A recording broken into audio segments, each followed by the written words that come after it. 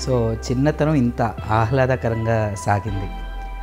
స్కూలింగ్లో మీరు ఫస్ట్ నుంచి tenth tenth దగ్గర ఏంటో చిన్న డిస్టర్బెన్స్ వచ్చి మీరు సిటీ వచ్చారు. ఏంటి? అంటే స్కూలింగ్ అంతా అక్కడ మా గవర్నమెంట్ స్కూల్స్లోనే చదువుకున్నాము.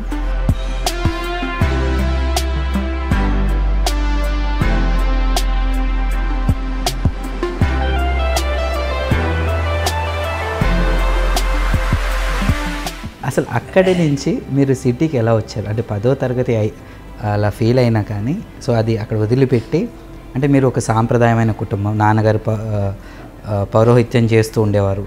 సో నాన్నగారు అంటే మీకు కొంచెం భయం ఉండేది. అసలు ఆ ధైర్యం ఎలా వచ్చేది మీకు? అంటే నాకు చిన్నప్పటి నుంచి పాటలు ఆటలు భోజనం ఇది చాలా interest.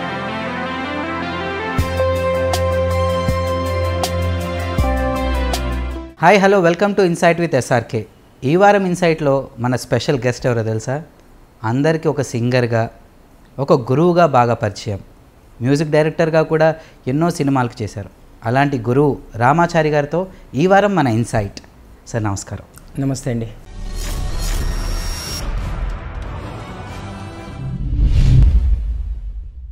ఫస్ట్ అసలు మీ చిన్నతనం నుంచి వద్దాం. మీ స్కూలింగ్ నుంచి. సో ఎక్కడ పుట్టారు ఎక్కడ పెరిగారు ఎక్కడ చదువుకున్నారు? నా సొంత ఊరు మెదక్ జిల్లా శివంపేట్ మండల్ పెద్ద గొట్టిముక్ల అని ఒక పల్లెటూరు. మా చాలా ప్రకృతి సిద్ధంగా ఉంటుంది ఊరు. అచ్చమైన పల్లెటూరు. మా ఊరు పక్క నుంచంతా అంతా అడవులు ఉంటాయి చెరువులు. అంటే నేను చిన్నప్పుడు నా బాల్యం అంతా ప్రకృతి ఒడిలో గడిపాను ఆ ఊర్లో. మా నాన్నగారు కీర్తిశేషులు కొమాండూరి కృష్ణమాచార్యులు గారు ఆయన వేద పండితులు పురోహితులు దేవాలయంలో అర్చకులుగా పనిచేసేవారు. హరికథలు కూడా చెప్పేవారు. కూర్చొని హార్మోనియం వాయిస్తూ హరికథలు చెప్పేవారు. అలాగే మా అమ్మగారు యశోదమ్మ. మా కుటుంబ నేపథ్యం ఏంటంటే మా నాకు ఒక తమ్ముడు ఒక చెల్లెలు లక్ష్మణాచారి సుజాత. మేము బాల్యం అంతా అక్కడే గడిపే. మా నాన్నమ్మ గారు ఉండేవారు. చక్కగా స్నేహితులు పల్లెటూరు మూటబావులు ఈత కొట్టడాలు కోతి కొమ్మచ్చాటలు ఆ, ఇంతే. సో చిన్నతనం ఇంత ఆహ్లాదకరంగా సాగింది. స్కూలింగ్లో మీరు ఫస్ట్ నుంచి టెన్త్ టెన్త్ దగ్గర ఏంటో చిన్న డిస్టర్బెన్స్ వచ్చి మీరు సిటీ వచ్చారు. ఏంటి? అంటే స్కూలింగ్ అంతా అక్కడ మా గవర్నమెంట్ స్కూల్స్లోనే చదువుకున్నాము.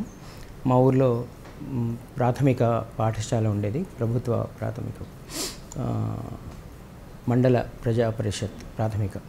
అక్కడే నేను ఐదో తరగతి దాకా చదువుకున్నాను. అక్కడి నుంచి కొన్ని రోజులు శివంపేట హై స్కూల్లో చదువుకున్నాను. దాని తర్వాత గోమారం అని మా పక్కనే ఉంటుంది ఊరు. అన్ని పక్క పక్కనే ఉంటాయి ఊర్లని ఒక త్రీ కిలోమీటర్స్ రేడియస్. అక్కడ టెన్త్ క్లాస్ దాకా చదువుకున్నాను. అయితే మాకేంటంటే మాకు అక్కడ మ్యాథమెటిక్స్ టీచర్స్ టీచర్ లేడు.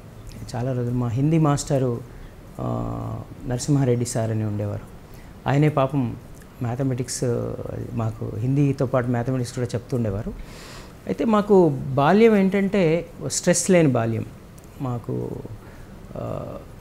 ఆడుకోవడం ముఖ్య అంటే ఆకలేస్తే తినడం మిగతా టైం అంతా ఆడుకోవడం తర్వాత మా ఊర్లో జరిగే ఒగ్గు కథలు వీధి నాటకాలు ఇలాంటి ఎంటర్టైన్మెంట్స్ ఉండేవి. తర్వాత రేడియో ఉండేది మా ఇంట్లో రేడియో వింటూ ఉండేవాడిని. రేడియో విన వింటూ ఆ పాటలు నేర్చుకుంటూ ఉండేవాడిని. అంటే నాకు పాటల వరకు వస్తే పాటల వరకు వస్తే ఏకసంతగ్రాహి అంటారు కదా అలా వచ్చేవి. చదువు దగ్గరికి వస్తే యావరేజ్ అంటే మరీ లో కాదు హై కాదు యావరేజ్లో ఉండేవాడిని ఎప్పుడు. ఎందుకంటే ఎప్పుడు ఆడుతూనే ఉండేవాళ్ళం. ఎప్పుడు అంటే చదువుకోవడం కంటే కూడా ఎక్కువ ఆటలే.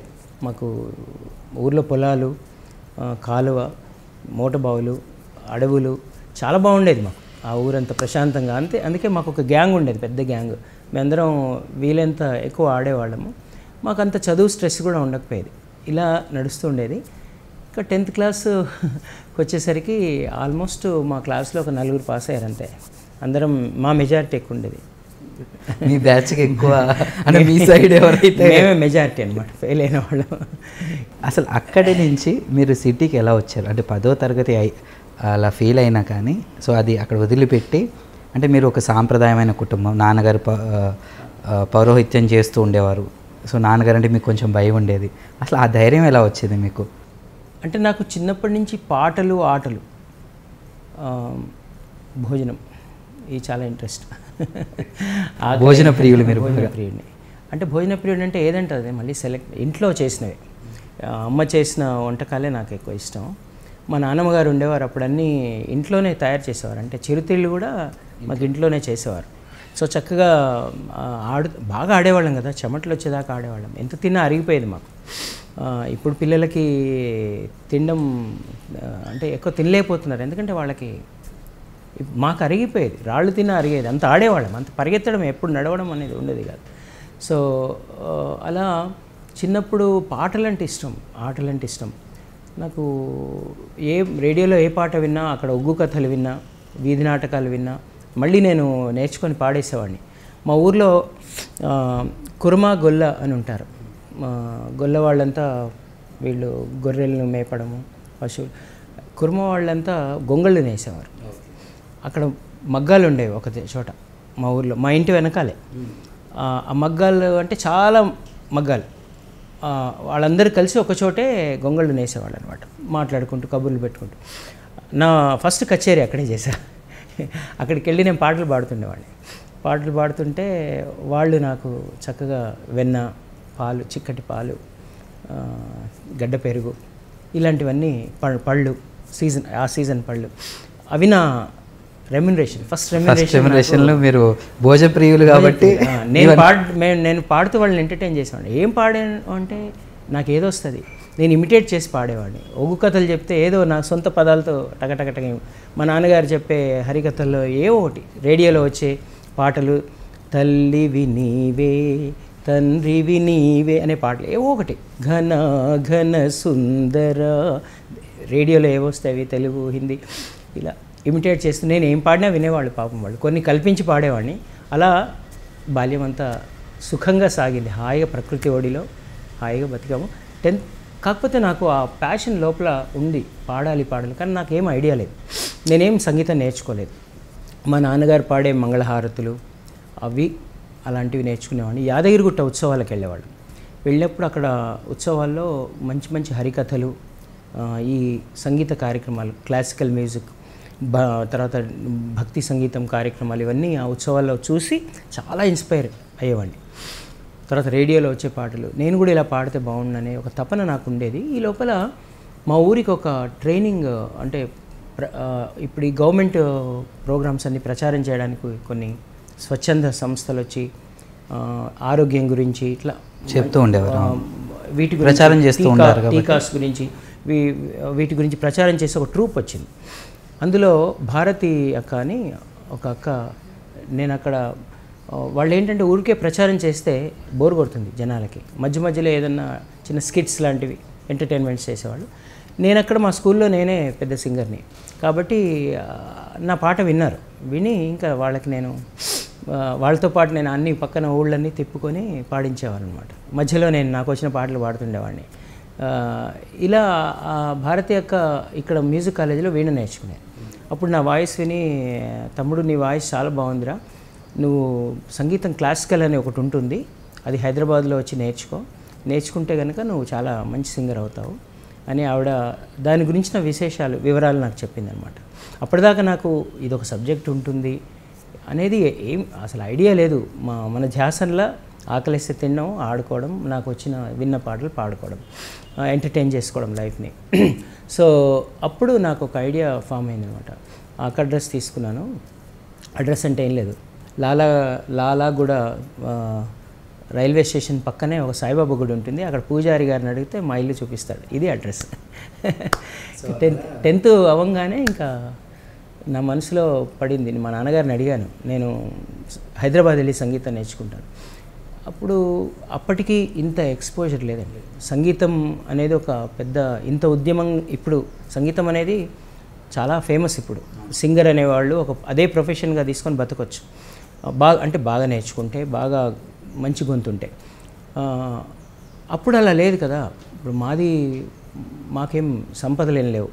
మా ఒక ఇల్లు ఒక అరేకరం పొలం మా నాన్నగారు చేసే పౌరోహిత్యం ఆయన హరికథల్లో వచ్చే ఆ డబ్బుతో మేము మా నాన్నగారు మాకు భక్తికి భుక్తికి లో లోటు లేకుండా అలా జీవనం సాగిస్తున్నాం. హ్యాపీగా ఉన్నాం. కానీ హైదరాబాద్లో ఉంచి చదివించే స్తోమత మాకు నాన్నగారికి లేదు. ఇంకోటి ఏ ఏ తండ్రి అయినా ఆ టైంలో మావాడు ఏదో ఒక చిన్న చదువుకొని ఒక గ్రాడ్యుయేషన్ చేసి ఏదో ఉద్యోగం చేసుకోవాలి అనేది లేదంటే లేకపోతే నా వృత్తిలోనే మాకు మూడు ఊర్లు పౌరోహిత్యం ఉండేవి నాకు చిన్నప్పుడే ఒడుగు చేసి అన్నీ నేర్పించారు. నేను అన్నీ చేసేవాడిని సత్యనారాయణ వ్రతాలు అన్నీ అన్నీ అన్నీ నేర్పించారు నాకు మా నాన్నగారు. సో ఏదో ఒకటి చేయాలని వాళ్ళకు ఉంటుంది అయితే ఏదైనా ఉద్యోగం అన్న చేయాలి మావాడు లేకపోతే మా ఈ ఊర్లో ఉండి నా వారసత్వంగా ఈ పనైనా చేయాలని అనుకుంటారు ఎవరైనా. అప్పుడున్న రోజుల్లో సంగీతమే జీవనంగా సాగిస్తానంటే ఎవరు నమ్మకం ఉండదు. మా నాన్నగారు ఆయన సైడ్ నుంచి అప్పుడు కరెక్ట్. సో మా నాన్నగారు ఒప్పుకోలేదు ఒప్పుకోకపోతే ఇంకా నేను టెన్త్ క్లాస్ ఎలాగో పోయింది కాబట్టి ఇంకా చదువు మీద ఇంట్రెస్ట్ పోయింది నాకు. అసలు ఇంకా నాకు నా చదువు అనేది నా జ నా జోనర్ కాదు. మనం చదువుకోవడానికి పుట్టలేదు. పాడ పాడడానికే పుట్టాము అనే ఒక డెసిషన్కి వచ్చేసి జంప్. అసలు అంత ధైర్యం ఎలా వచ్చిందంటారు? అంటే ఆ సిచ్యువేషన్లో మీరున్న ఫ్యామిలీ అట్మాస్ఫియర్కి ఆ విలేజ్ అట్మాస్ఫియర్కి అసలు ఆ విలేజ్ దాటి బయటికి రావాలి సిటీ వెళ్ళి చదువుకోవాలి పైగా నాన్నగారికి చెప్పి ఎదిరించి వెళ్ళాలి అన్నది ఆ నాన్నగారికి చెప్పేంత ధైర్యం లేదు. పక్కింట్లో వాళ్ళకి చెప్పి వాళ్ళ వాళ్ళ దగ్గర పదిహేను రూపాయలు తీసుకొని బస్ ఎక్కేసాను సో అంటే ఆ ధైర్యం ఎలా వచ్చిందంటే? ఆ సిచ్యువేషన్లో అంటే నాకు చిన్నప్పటి నుంచి కూడా నాకు ఒకటి ఉంది. నేను అనుకున్నట్టు బతకాలి. అంటే నాకు ఇష్టం లేని బతుకు బతకడం నాకు ఎందుకో నాకు అది సహజంగా. చిన్నప్పుడు నా నా స్నేహితుల్లో కూడా నాకు ఇష్టం వచ్చినట్టు ఉండేవాడిని. అంటే నాకు బలవంతంగా నేను ఎక్కడ ఎక్కడ బలవంతంగా ఉండడం నాకు ఇష్టం లేదు. నాకు అలా పెరిగాను నేను. చిన్నప్పటి నుంచి ఒక నాకు పక్షులు అంటే చాలా ఇష్టం. ఈ కింద మెల్లి వెళ్ళే స్నేహిల్స్ అంటే ఇష్టం ఉండదు. అంటే అవి కూడా జీవులే అంటే అలా ఉండడం ఇష్టం ఉండదు. జీవులందరూ నాకు సమానమే. అందరూ అయితే నాకు అలా అవి చూస్తే స్వేచ్ఛగా ఉండాలి. ఫ్లై చేయడం అనేది ఇష్టం. తర్వాత మ్యూజిక్ అనే దాని మీద ఇంట్రెస్ట్ కాబట్టి నాన్నగారు డెఫినెట్గా చెప్తే విన ఆయన ఆయన సైడ్ నుంచి నాకు సపోర్ట్ రాదు. కాకపోతే నేను ఈ నాకు ఇలా వద్దు. ఏదో ఒకటి నేను సంగీతం నేర్చుకొని అలా సంగీతంలో ఉండాలని ఒక ఆధారం అయితే దొరికింది. అంతకుముందే మా ఫ్రెండ్ భిక్షపతి అని ఇక్కడ వాళ్ళ పెద్దమ్మ గారి దగ్గర ఉండి సికింద్రాబాద్లో అంజలి థియేటర్ పక్కన వాళ్ళ ఇల్లు. కరెక్ట్గా అదొక అడ్రస్ నాకు తెలుసు. అంజలి థియేటర్ నానుకొని వాళ్ళ ఇల్లు ఉంటుంది. వాడి దగ్గరికి వెళ్ళి వాడి దగ్గర నుంచి వెళ్ళాలని వాడు నాకంటే చదువులో ముందే మానేసి వాడు ఇక్కడ ఏదో జాబ్ చేస్తున్నాడు. సో మీ బ్యాచ్ మా బ్యాచ్ మన క్లాస్మేట్ వాడు క్లోజ్ క్లోజ్ ఫ్రెండ్స్ అనమాట సో వాడి దగ్గరికి వెళ్ళి వాడిని తీసుకొని వెళ్దాము అని స్ట్రైట్గా రాణిగంజ్లో బస్సు దిగి నడుచుకుంటూ అంజలి థియేటర్ ఎక్కడ ఉందని అడుగు అడుగుతూ అడుగుతూ వచ్చి దాని పక్కన అప్పుడు ఆ రోజుల్లో ఇండ్ల ఇళ్ళ మీద పేరు రాసి ఉండేది సో ఆ పేరు చూసుకొని వస్తే వాడు ఇంట్లో లేడు వాడు పనిచేసే చోటు ఉన్నాడు. ఇంకా వాడు వచ్చేదాకా ఉండి అంటే వాళ్ళు వాళ్ళ పెద్దమ్మ గారు అనమాట ఇల్లు. వాళ్ళు ఎప్పుడు మా ఊరికి వస్తారు మా ఇంటి ముందే వాళ్ళ ఇల్లు. మా ఊరికి వచ్చినప్పుడు ఆ పెద్దమ్మ గారు నాకు కూడా పరిచయం కాబట్టి వాళ్ళ ఇంట్లో మేము ఆడుకునేవాళ్ళం కాబట్టి వాళ్ళు అక్కడ ఉన్నాను.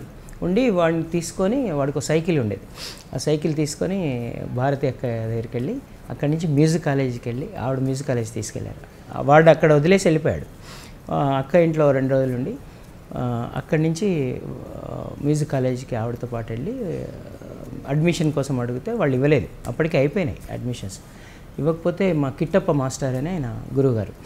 ఆయన ఒక్కసారి వినండి మాస్టారు అబ్బాయి బాగా పాడుతున్నాడంటే నేను ఏదో గున్నమావిడి కొమ్మ మీద గూళ్ళు రెండున్నాయి అని ఏవో నాకు వచ్చిన పాటలని పాడేశా.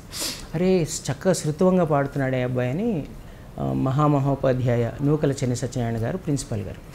వారి దగ్గర తీసుకెళ్ళి వీడు బాగా పాడుతున్నాడు వీడికి అడ్మిషన్ టైం అయిపోయిందంటే ఆయన మ- ఆయన దగ్గర మళ్ళీ పాడాను. పాడిన తర్వాత ఆయన విని అరే వీడు బాగా పాడుతున్నాడు ఓకే నాన్న అని ఆయన నాకు అడ్మిషన్ ఇచ్చారు. అప్పటి నుంచి సికింద్రాబాద్ స్టేషన్ దగ్గర ఒక నలుగురు స్టూడెంట్స్ ఉండేవారు. అందులో ఒక స్టూడెంట్ నాకు తెలిసిన వాళ్ళు ఏదో ఒక గ్రాడ్యుయేషన్ ఏదో చేస్తుండేవాళ్ళు. వాళ్ళు ఒక రూమ్ తీసుకుని ఉండేవాళ్ళు నలుగురు కలిసి. వాళ్ళ దగ్గర నేను ఉండడానికి మాట్లాడుకున్నాను. నేను మీ దగ్గర ఉంటాను బట్ నేను రెంట్ చెల్లించలేను. బట్ మీకంతా వర్క్ చేసి పెడతానని వాళ్ళకి మొత్తం వర్క్స్ అన్ని నేను చేసి పెట్టేవాడిని. ఎర్లీ మార్నింగ్ వాటర్ మాకు అప్- అప్పుడు బయట ఉండేవి నల్లలు. వీధి కుళాయిలు. అవును అప్పుడు పట్టుకోవాలి కదా రెండు రెండు బిందెలు పెట్టి అలా ఒక తొట్టి ఉండేది అది నింపడం. పొద్దున ఫోర్ ఫోర్ థర్టీకి లేచేవాడిని. లేచి వాళ్ళకంతా వంట అవన్నీ చేసి పెట్టేసి నేను ప్రాక్టీస్ చేసుకుంటున్నాను. మ్యూజిక్ కాలేజ్ ఈవినింగ్ అనమాట ఈవినింగ్ వెళ్ళి మ్యూజిక్ కాలేజ్ చేసి వచ్చి ఇలా స్టార్ట్ అయింది నా జీవితం. అది ఇటు వాళ్ళకి వర్క్ చేసుకుంటూ ఆ రూమ్లో ఉంటూ ఈ లోపల మా నాన్నగారు అంటే పక్కన చెప్పేసి వచ్చాను. భిక్షపతి దగ్గరికి వెళ్తాను. ఇవన్నీ చెప్పేసి వచ్చాను. కాకపోతే అది భయం లేదనమాట మా నాన్నగారికి. సో ఆయన వచ్చారు. వచ్చి మళ్ళీ కన్విన్స్ చేశారు. ఇంటికి వెళ్ళిపోదాం. మళ్ళీ టెన్త్ క్లాస్ పరీక్ష రాయి. మళ్ళీ ఈ మరి చదువుకో చదువుకున్నాక నువ్వు వేయన్న చేయి అని ఆయన అంటే లేదు లేదు. నేను ఇంకా వచ్చేది లేదు. నేను సంగీతంలోనే ఉంటాను. ఏదైనా సరే ఇందులోనే ఉంటానని. నా మొండికేసేసరికి ఇంకా సరే వీడు తెలిసిన మా ఫోర్ స్టూడెంట్స్లో మా ఊరు అబ్బాయి ఒక అతను ఉండేవాడు శేషగిరిరావు అని. సో ఉన్నాడు కదా పర్లేదని ఇంకా ఆయన వెళ్ళిపోయారు. ఈ లోపల నేను ప్రతి వారం రేడియో స్టేషన్కి వెళ్ళి అక్కడ బాల వినోదం అని ఉండేది. అక్కడ అందులో పాడేవాడిని. సో రేడియో అక్కయ్య గారు జానకిరాణి జానకి రాణి గారు నా పాట విని బాగా నన్ను ఇంకా ఇంకా ఫస్ట్ ఎంకరేజ్మెంట్ అక్కడి నుంచి స్టార్ట్ అయింది. అక్కయ్య గారు. అక్కయ్య గారు శ్రీనివాసన్ గారికి పరిచయం చేయడం.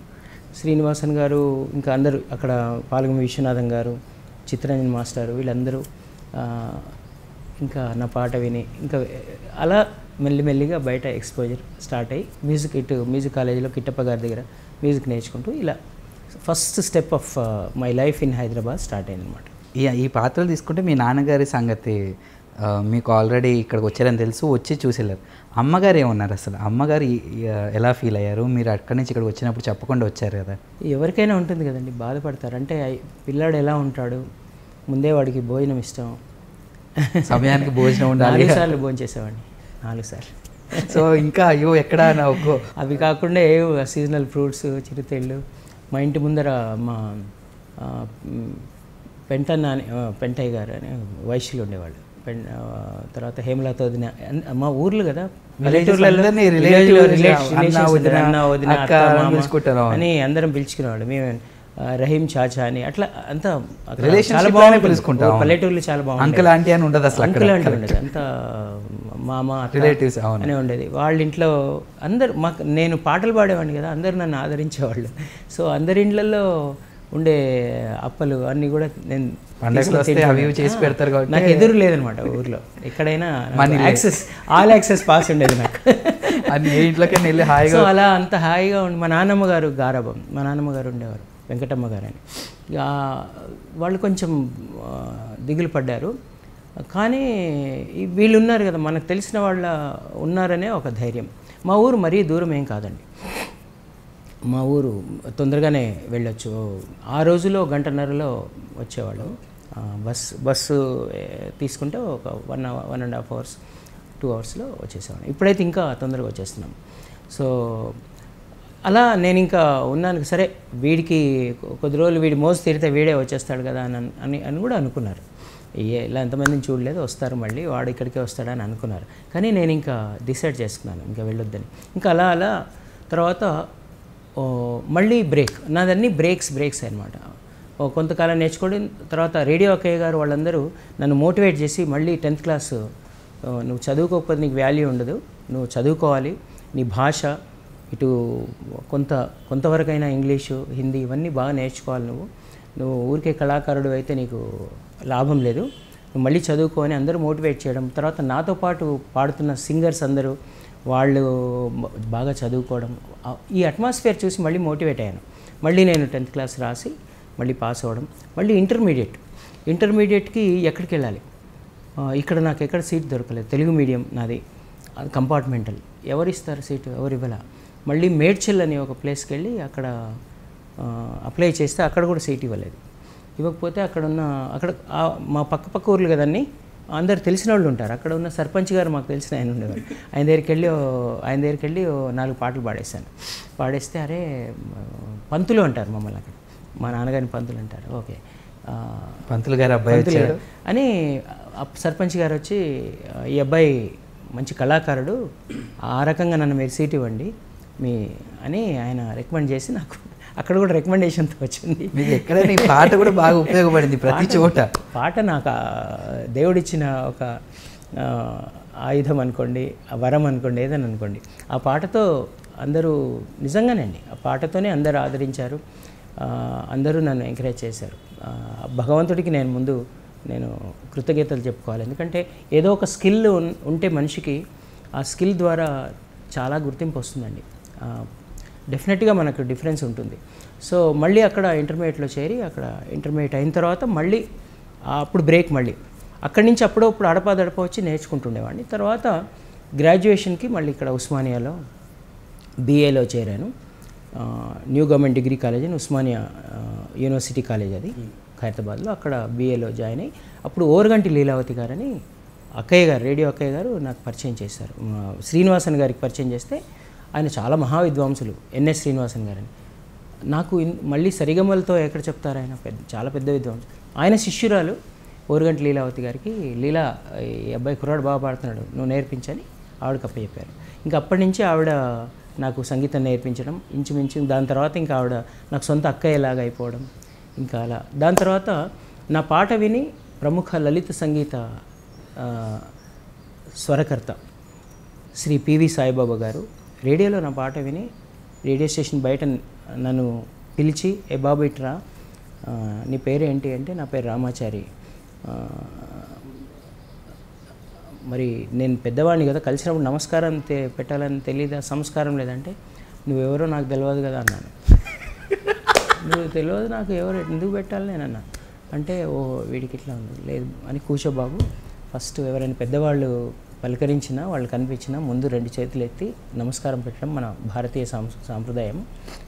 ఇది నేర్చుకొని ఫస్ట్ లెసన్ అది నేర్పించారు నాకు మా గురువుగారు. సో అప్పటి నుంచి నాకు క్లాసికల్ లైట్ మ్యూజిక్ సాయిబాబా గారి దగ్గర నేర్చుకోవడము ఆయన ప్రోగ్రామ్స్లో పాడడం ఇలా ఇలా ఇలా ప్రస్ ఇటు చదువుకుంటూనే ఇటు ఊరగంట లీలావతి గారి దగ్గర సాయిబాబు గారి దగ్గర అలా శాస్త్రీయ సంగీతం లలిత సంగీతం నేర్చుకుంటూ రేడియో స్టేషన్లో పాడుకుంటూ తర్వాత ద మ్యూజిక్ గ్రూప్ ఆర్కెస్ట్రా అని ఒకటి ఉండింది. అక్కడ లేటర్ ఆన్ దాని తర్వాత కృష్ణా నీరజ్ అని వాళ్ళ ఆర్కెస్ట్రాలో జాయిన్ అయ్యి మెల్లిగా పాడడం. తర్వాత డిగ్రీ ఫైనల్ ఇయర్లో ఒక ఇంకొక మలుపు మా జీవితంలో. ఏంటంటే మా ఊర్లో కరువు వచ్చేసింది. చాలా కరువు. అంటే వర్షాలు పడలేదు చాలా ఏళ్ళు.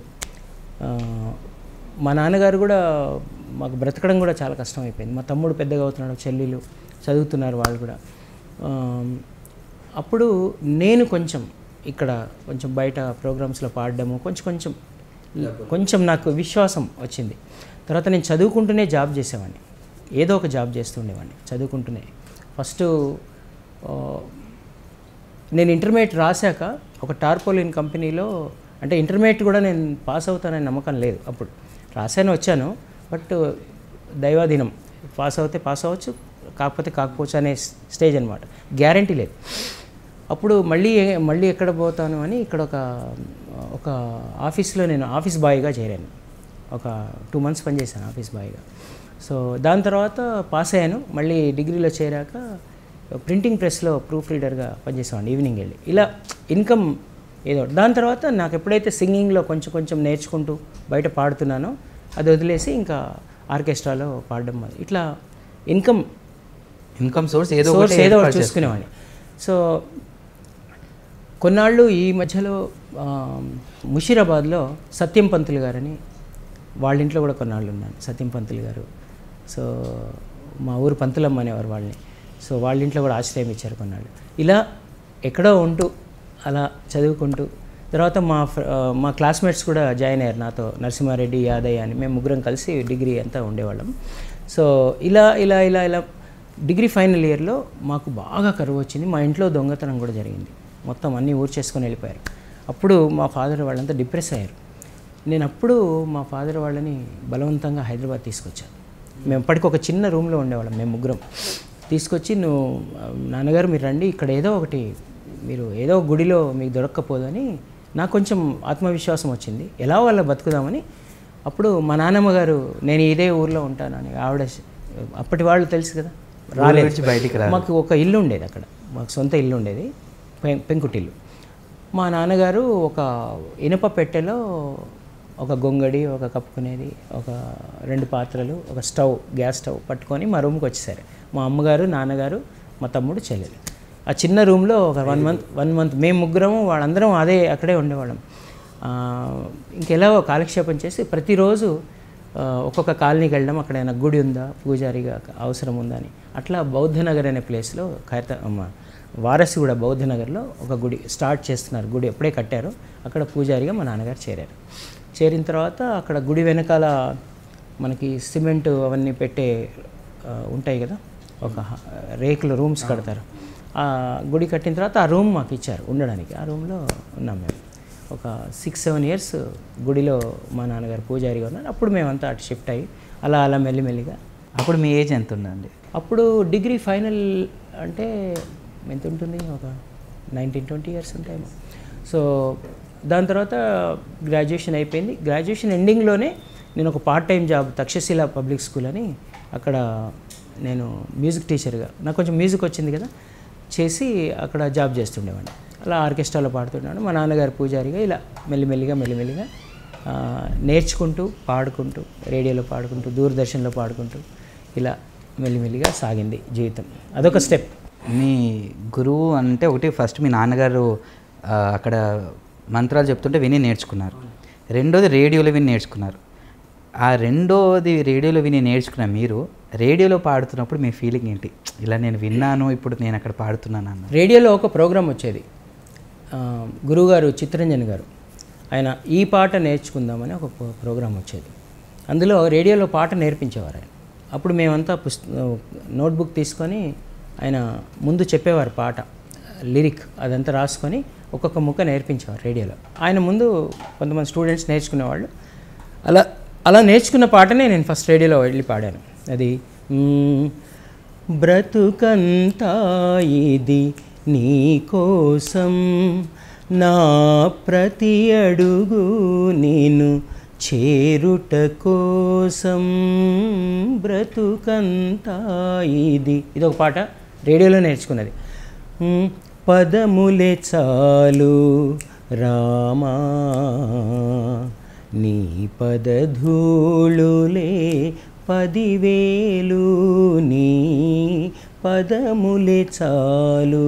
అలాగే సంగారెడ్డిలో రామస్వామి సార్ అని ఒక ఆయన ఉండేవారు. సంగారెడ్డిలో కాంపిటీషన్స్ అయినప్పుడు నేను వెళ్ళి పార్టిసిపేట్ చేసి అందులో ఫస్ట్ ప్రైజ్ వచ్చింది నాకు డిస్టిక్ లెవెల్.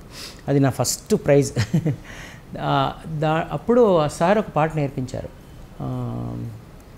సోదరి అని ఒక పాట ఉంది. అది కూడా రేడియోలో పాడాను. ఇలా అప్పుడు రేడియోలో నేర్చుకున్న పాటలే మళ్ళీ వచ్చి రేడియోలో పాడడం అనేది వాళ్ళు కూడా చాలా సంతోషించారు. అక్కడ చిత్తరంజన్ మాస్టర్ గారు అక్కడే ఉండేవారు. అరే పల్లెటూరు నుంచి ఎలా ఎలా పాడుతున్నావు అంటే సార్ మీరు ఇలా ఈ పాట నేర్చుకుందాంలో నేర్ నేర్పించిన పాటలన్నీ నేను నేర్చుకున్నాను. మాకు అక్కడ గురువులు ఎవరు ఉంటారు పల్లెటూర్లలో ఎవరు ఉండరు నేర్చుకునే అవకాశం ఉండదు.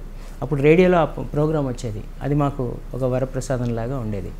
సో అలా రేడియోలో దూరదర్శన్లో పాడడం అదొక స్టేజ్. సో ఈ టైంలో మీ తమ్ముడు ఒక మీ చెల్లి ఒక సపోర్ట్ ఎలా ఉంది? మీరు ఊరి నుంచి వచ్చేసారు. ఇంటికి పెద్ద కొడుకైన మీరు వచ్చేసిన తర్వాత మోరల్గా వాళ్ళ సపోర్ట్ కూడా ఉండాలి. అంటే ఇంట్లో వాళ్ళిద్దరే ఉంటున్నారు కాబట్టి. లేదు సపోర్ట్ అంటే ఏముంది? ఇంకా నేను మా నాన్నగారే ఇన్కమ్ సోర్స్. వాళ్ళు చదువుకునేవాళ్ళు. వాళ్ళకి సపోర్ట్ మేమే సపోర్ట్. వాళ్ళు చదువు వాళ్ళు కూడా స్కూళ్ళల్లో చేరి వాళ్ళు కూడా చదువుకోవడం అంతే. మా హ్యాపీగా ఉండేవాళ్ళం మేము. తర్వాత మా నాన్నమ్మ గారికి మమ్మల్ని బెంగ పెట్టుకొని ఆవిడ జబ్బు చేసింది. అప్పుడు మళ్ళీ మా నాన్నమ్మని తీసుకొని మళ్ళీ ఆమెను కూడా తీసుకొని వచ్చాము అందరం చాలా మా నాన్నగారు ఆ గుడిలో పూజారిగా చేస్తుండేవారు హాయిగా కాలక్షేపం చేసేవాళ్ళం. నేను ఏదో పాడుతుండేవాడిని ఈ లోపల ఇంకొక మలుపు ఏంటంటే లైఫ్లో పాడుతా తీయగా. ఫస్ట్ పాడుత తీగ. అంటే మన తెలుగు టెలివిజన్లోనే మొట్టమొదటి రియాలిటీ షో అది. హిందీలో జీ సరిగమప అని వచ్చేది. తెలుగులో ఫస్ట్ రియాలిటీ షో పాడుతా తీగ. అప్పుడు ఏం చేశారంటే అప్పుడు అప్పటికే నేను నాకు కొంచెం దూరదర్శన్ ద్వారా రేడియో ద్వారా బయట ప్రోగ్రామ్స్ ద్వారా కొంచెం పేరు వచ్చింది. అప్పుడు పేరున్న వాళ్ళని డైరెక్ట్ పిలిచారు. మమ్మల్ని అందరిని పిలిచి వాళ్ళు షూట్ చేసి ఒక పాట ఏదో ఒక పాట పాడండి అని పాడితే షూట్ చేసి అక్కడ సెలెక్షన్ కమిటీకి పంపించారు బాలు గారికి పంపించారు. తర్వాత లక్కీగా నేను అందులో సెలెక్ట్ అయ్యాను. అయిన తర్వాత పాడుతా తీగ స్టార్ట్ అయింది. అప్పటికి నాకు మ్యూజిక్ నేర్చుకుంటున్నాను కానీ అంత పట్టు ఏం లేదు. బా గొంత అయితే ఉంది దేవుడిచ్చింది కొంత కొంత కొంత క్లాసికల్ పరిజ్ఞానం అప్పుడు అప్పుడప్పుడే నేర్చుకుంటున్నాను. అది కూడా బ్రోకెన్ బ్రోకెన్గా. అప్పుడు ఇంకా దేవుడి దేవల పాడుతా తీయగల ఒక్కొక్క మెట్టు ఎక్కుతూ నేను ఫైనలిస్ట్ అయ్యాను. నేను ఫస్ట్ సిరీస్ ఆఫ్ పాడుతా తీయగలో ఫస్ట్ ఫైనలిస్ట్ నేను. దాంట్లో మా మిత్రుడు పార్థ పార్థసారథికి ఆయన విన్నరు నేను రన్నరు అలాగే ఉషా నిష్మా విన్నర్ రన్నర్స్ అనమాట సో ఆ పాడుతా తీయగతో మాకు చాలా పేరు వచ్చింది. రేడియో రేడియో దూరదర్శన్ దూరదర్శన్లోనే నాకు చాలా పేరు వచ్చింది. నేను చాలా సోలోస్ పాడేవాడిని. చాలా డివోషనల్స్ పాడేవాడిని. అయితే పాడుతా తీగతో ప్రతి తెలుగు వాళ్ళ ఇంటికి ఇంటికి మేము చేరిపోయాం. ఇంకా దాని తర్వాత నాకు మే నేను పార్థసారథి ఉష ప్రతి జిల్లాలో మేము ప్రోగ్రామ్స్ మమ్మల్ని పిలిచేవారు మా ప్రోగ్రామ్ ఏర్పాటు చేసేవారు. కానీ ఆ రోజుల్లో మేమేమి డిమాండ్ చేసేవాళ్ళం కదా. అంటే ఇంత డబ్బు ఇస్తే వచ్చి పాడతాం అదేం లేదు అవి కూడా తెలియదు మాకు. ఎవరైనా పిలిచారు మైక్ ఇచ్చారంటే ఒక ప్లాట్ఫామ్ దొరికింది మాకు మా పర్ఫార్మెన్స్ చూపించుకోవచ్చు. అని ఇంకా వాళ్ళు ఒక్కొక్కసారి కొంత డబ్బు ఇచ్చేవాళ్ళు ఒక్కొక్కసారి ఏవో గిఫ్ట్లు ఇచ్చేవాళ్ళు. ఇలా మేము సంతృప్తిగా ఇంటికి వచ్చి ఆ, వచ్చేవాళ్ళు మళ్ళీ ఇంకొక ప్రోగ్రామ్ అట్లా డిఫ్ చాలా ప్రోగ్రామ్స్ వేసాం అలా. సో మీరు మొదటి విన్న పాట ఏంటి రేడియోలో? గుర్తుందా? ఏదండి? రేడియోలో మీరు చిన్నప్పుడు విన్న పాట.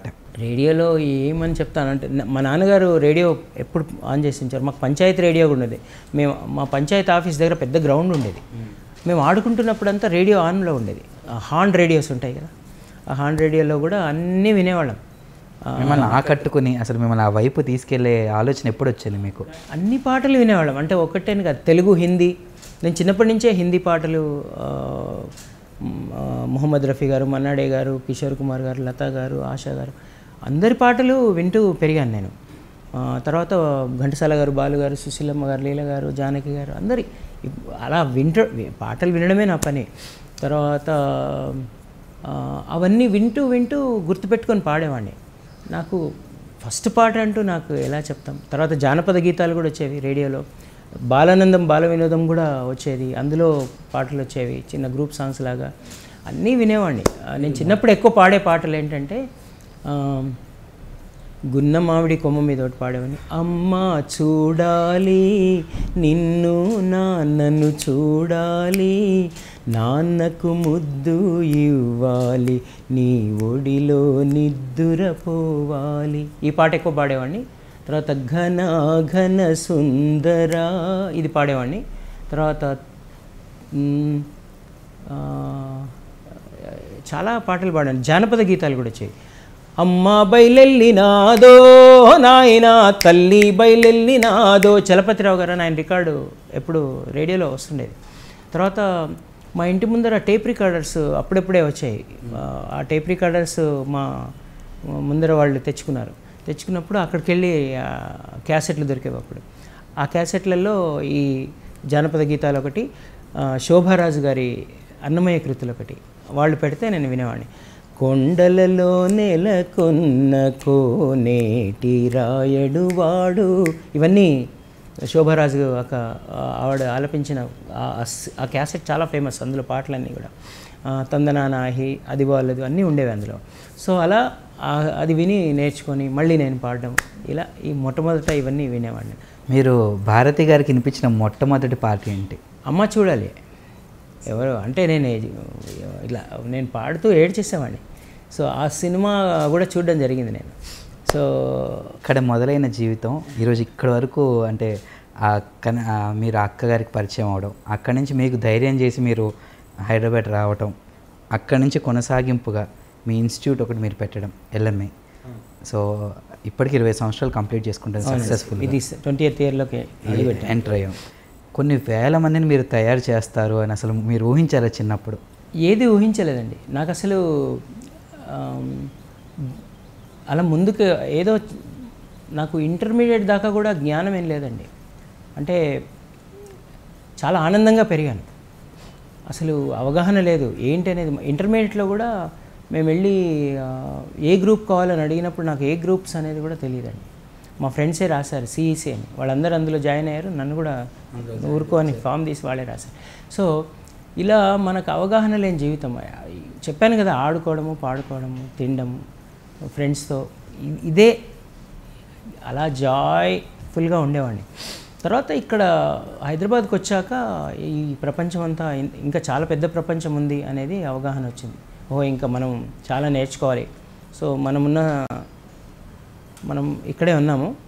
ఇంకా చూడాల్సింది ఇంకా చాలా నేర్చుకోవాల్సింది. చాలా ఉంది. ఇంకా ముందుకెళ్ళాల్సింది చాలా ఉందని. కొంచెం కొంచెం జ్ఞానం అనేది ఎందుకంటే పేరెంట్స్ దగ్గర ఉన్నంత వరకు మనకు తెలియదండి. పేరెంట్స్ దగ్గర ఉన్నంత వరకు పల్లెటూరు కూడా ఒక అమ్మ లాంటిదే. ఇప్పుడు మా ఊరు కూడా పల్లెటూరు కూడా ఎంత కాపాడుతుందంటే అక్కడ ఏం మనకు కష్టమే అనిపించదండి. ఇప్పుడు కొంచెం పల్లెటూర్లు చేంజ్ అయినాయి. ఇప్పుడు పల్లెటూర్లలో మా ఊరికి ఇప్పుడు వెళ్తే బయట ఎవరు పిల్లలు ఆడుకోవడం చూడట్లేదు.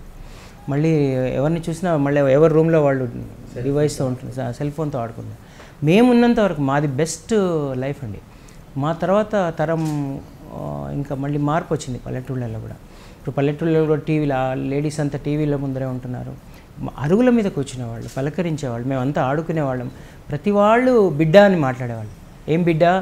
ఎంతసేపు ఆడుతూ మేము ఆడుతుంటే కూడా వాళ్ళు ఆపేయత పల్లెటూరులో. ఎంతసేపు ఆడతారో ఎంతసేపు ఆడతారు బిడ్డ? మీరు వెళ్ళి తినండి కొంచెం తినండి అని అనేవాళ్ళు అందరూ. సో అలాంటి అమ్మలాంటి పల్లెటూరులో పెరగడం జరిగింది. ఇక్కడికి వచ్చాక ఓ ఇంకా ఇంత ప్రపంచం ఉంటుందా? మనం నేర్చుకోవాల్సింది చాలా ఉంటుంది ముఖ్యంగా భాషలు. సో నేను ఇక్కడికి వచ్చాక హిందీ ఇంగ్లీష్ ఇవన్నీ కూడా నేర్చుకోవాలనే తపన మొదలై ఒకటి ఒకటి ఒకటి అలా నేర్చుకుంటూ ముందుకు వచ్చాను తర్వాత నేను డిగ్రీ అయిపోగానే ఆల్ సెయింట్స్ హై స్కూల్ అని అక్కడ జాబ్ నాకు వచ్చింది తర్వాత నేను బీ టీటీసీ కూడా చేశాను music four four years course pass అయ్యాను. దాని తర్వాత టీటీసీ మ్యూజిక్ అని ఒకటి ఉంటుంది. దాంతో మనం టీచర్ జాబ్కి మనకి ఎలిజిబిలిటీ ఉంటుంది.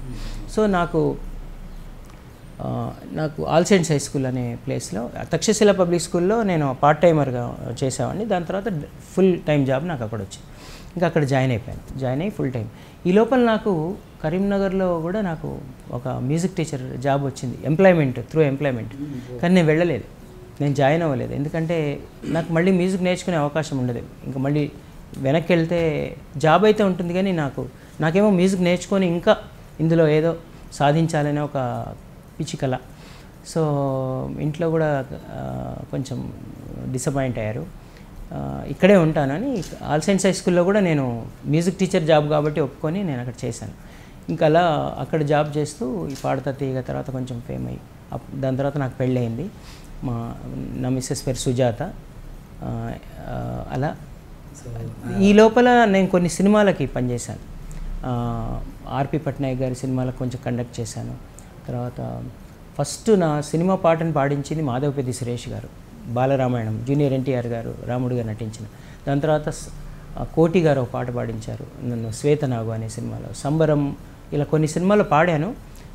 కొన్ని సినిమాలకు అసిస్టెంట్ మ్యూజిక్ డైరెక్టర్గా చేశాను. ఈ చేస్తూ మ్యూజిక్ టీచర్గా పనిచేస్తూ అలా ఇక్కడ అప్పటికి ఫిలిం ఇండస్ట్రీ లేదండి. అంటే పూర్తిగా ఇప్పుడున్న స్థాయిలో సినిమా పాటలు ఇక్కడ రికార్డ్ అవ్వట్లేదు. కొంతమంది అప్పుడప్పుడే స్టార్ట్ చేశారు. సో అలా ఉద్యోగం చేస్తూ మీది పాడుతూ. ప్రేమ వివాహమా లేకపోతే పెద్దలు కుదిరిచిన వివాహం? మా గురువు గారు ఓరుగంటి లీలావతి గారు వారి అక్కయ్య కూతురు సుజాత. మేమందరం ఫ్రెండ్స్ అండి ముందు నుంచే. అంటే నేను అక్కడ నేర్చుకుంటున్నప్పుడు మాకు మాదొక మళ్ళీ మాదొక గ్రూప్ అక్కడ. సో మా లీలక్ లీలక్ అంటాను ఇప్పుడు మా గురువుగారు అక్కడే నేర్చుకొని అక్కడే భోజనం చేసాం మా మొత్తం గ్యాంగ్ అంతా అక్కడే ఉండేవాళ్ళం. నాతో పాటు మా ఫ్రెండ్ నరసింహారెడ్డి నేను సుజాత వాళ్ళ కజిన్ యోగదర్శిని అని తర్వాత వైవి అని ఒక అబ్బాయి. మేమందరం ఒక బ్యాచ్లా ఉండేవాళ్ళం. అలా పరిచయస్తులు. దాంతో దాంతో మెల్లిగా మా టేస్ట్లో ఒకటే అనిపించింది. మేము అనుకున్నాము. ఎవరు- పెద్దవా- పెద్దవాళ్ళకి చెప్పాము? నేనే చెప్పాను మీరే చెప్పారు. తర్వాత మేడం ఎట్లా రియాక్ట్ అయ్యారు? తనకు ఐడియా లేదు. తనకు ఫస్ట్ అంటే మా పిన్ని శిష్యుడు అందరిలో ఒకలా నన్ను చూసేది.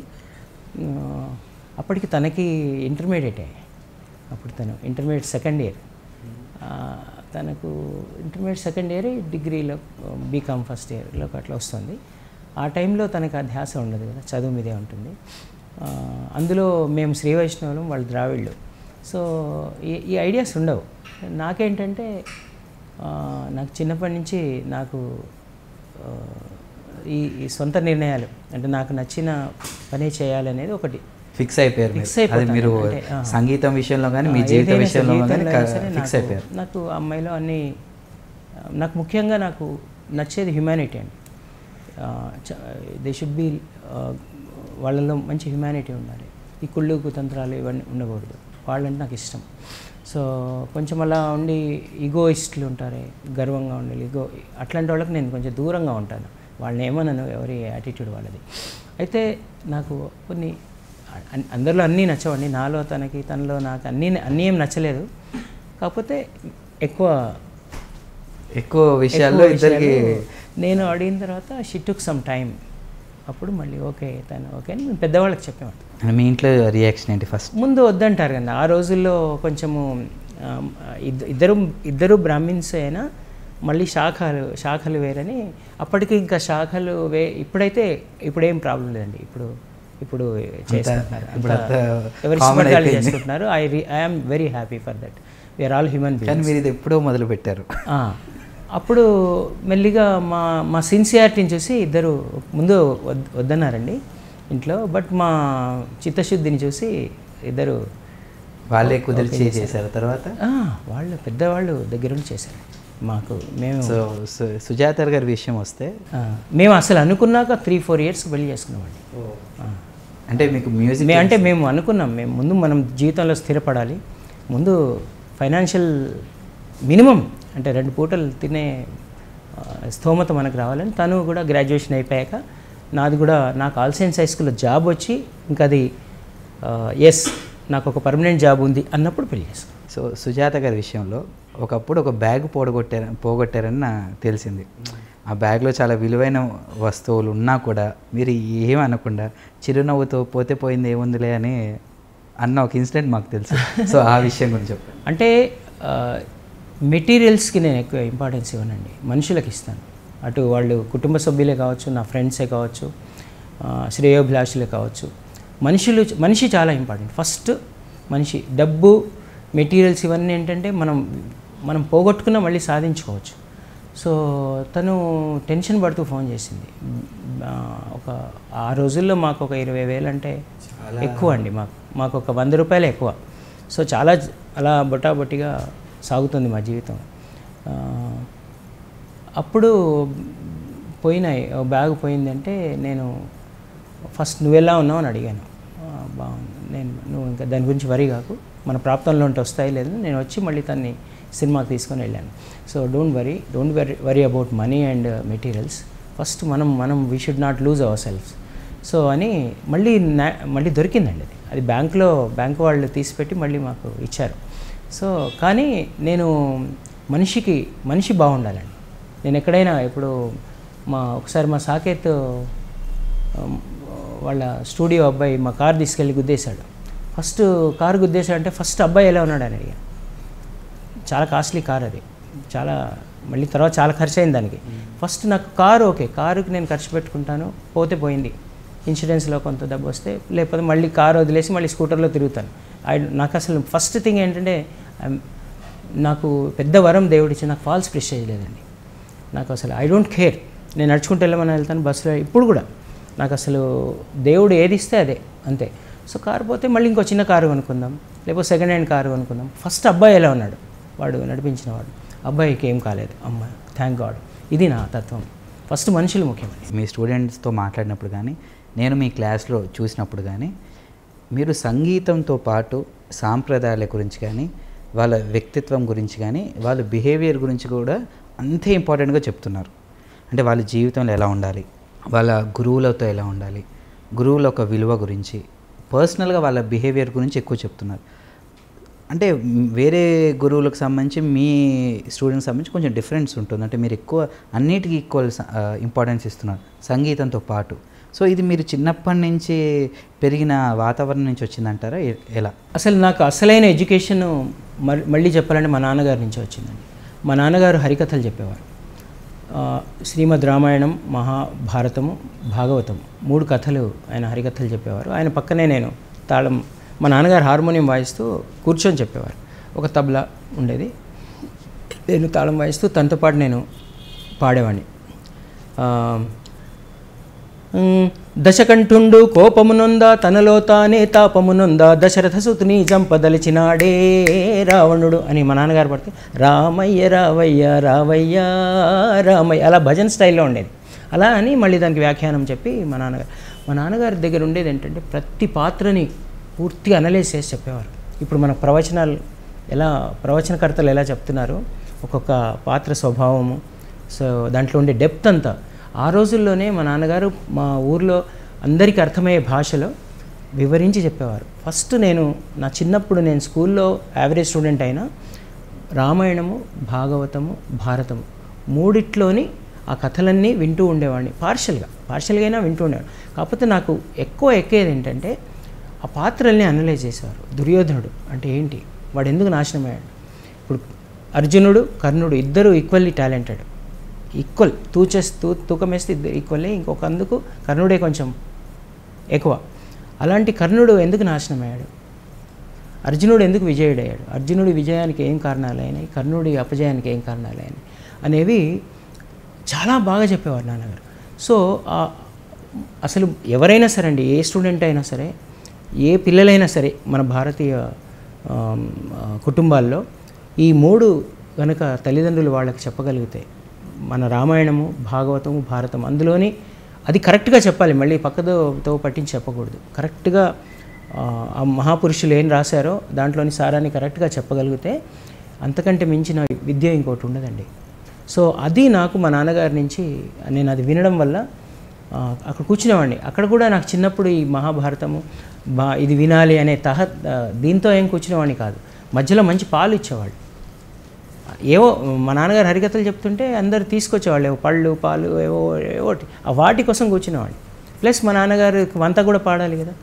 మధ్యలో ఒక్కోసారి నిద్రపోయేవాడిని కూడా. మళ్ళీ లేపేవాళ్ళు. ఇలా మొత్తానికి ఎన్నోసార్లు కదా చాలాసార్లు విని విని విని నాకు అది చా చాలా ఉపయోగపడిందండి. తర్వాత నేను హైదరాబాద్ వచ్చాక నా పరిశీలన నాకు ఒక ఇంకొక వరం ఏమి ఇచ్చాడు దేవుడు అంటే క్వశ్చనింగ్ అసలు ఇదేంటి? ఇదేంటి? తెలుసుకో తెలుసుకోవాలనే తహతహ.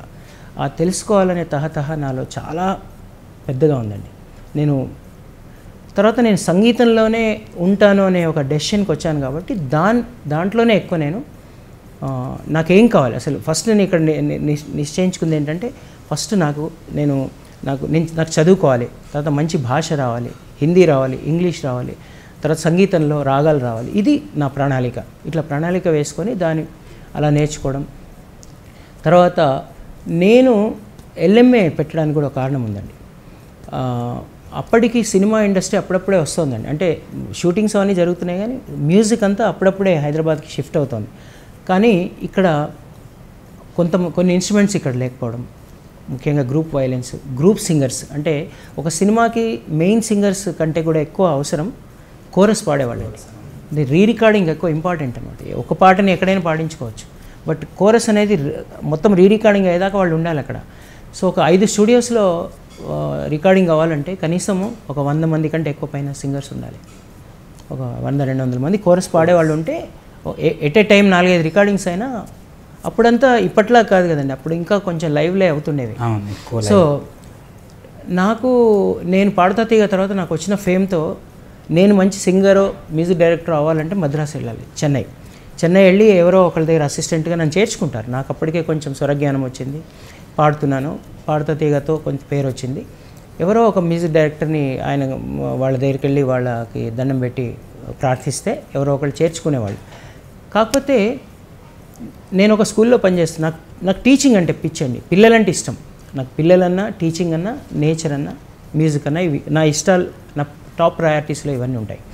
సో ఇక్కడ ఒక మీటింగ్ పెట్టారండి. పెట్టి ఇక్కడ వాళ్ళకి ఛాన్స్ ఇవ్వట్లేదంటే ఇక్కడ మాకు సమస్యలు ఉన్నాయండి. ఇక్కడ కోరస్ పాడడానికి కూడా ఎవరు లేరు. వాళ్ళు కోరస్ కూడా మద్రాసులో చెన్నైలో వెళ్ళి చేసేవాళ్ళు. అప్పుడు సినీ మ్యూజిషియన్ యూనియన్ అని పెట్టారండి. అందులో నేను ఫౌండర్ మెంబర్. నేను జాయింట్ సెక్రటరీగా కూడా ఉన్నాను ఫస్ట్.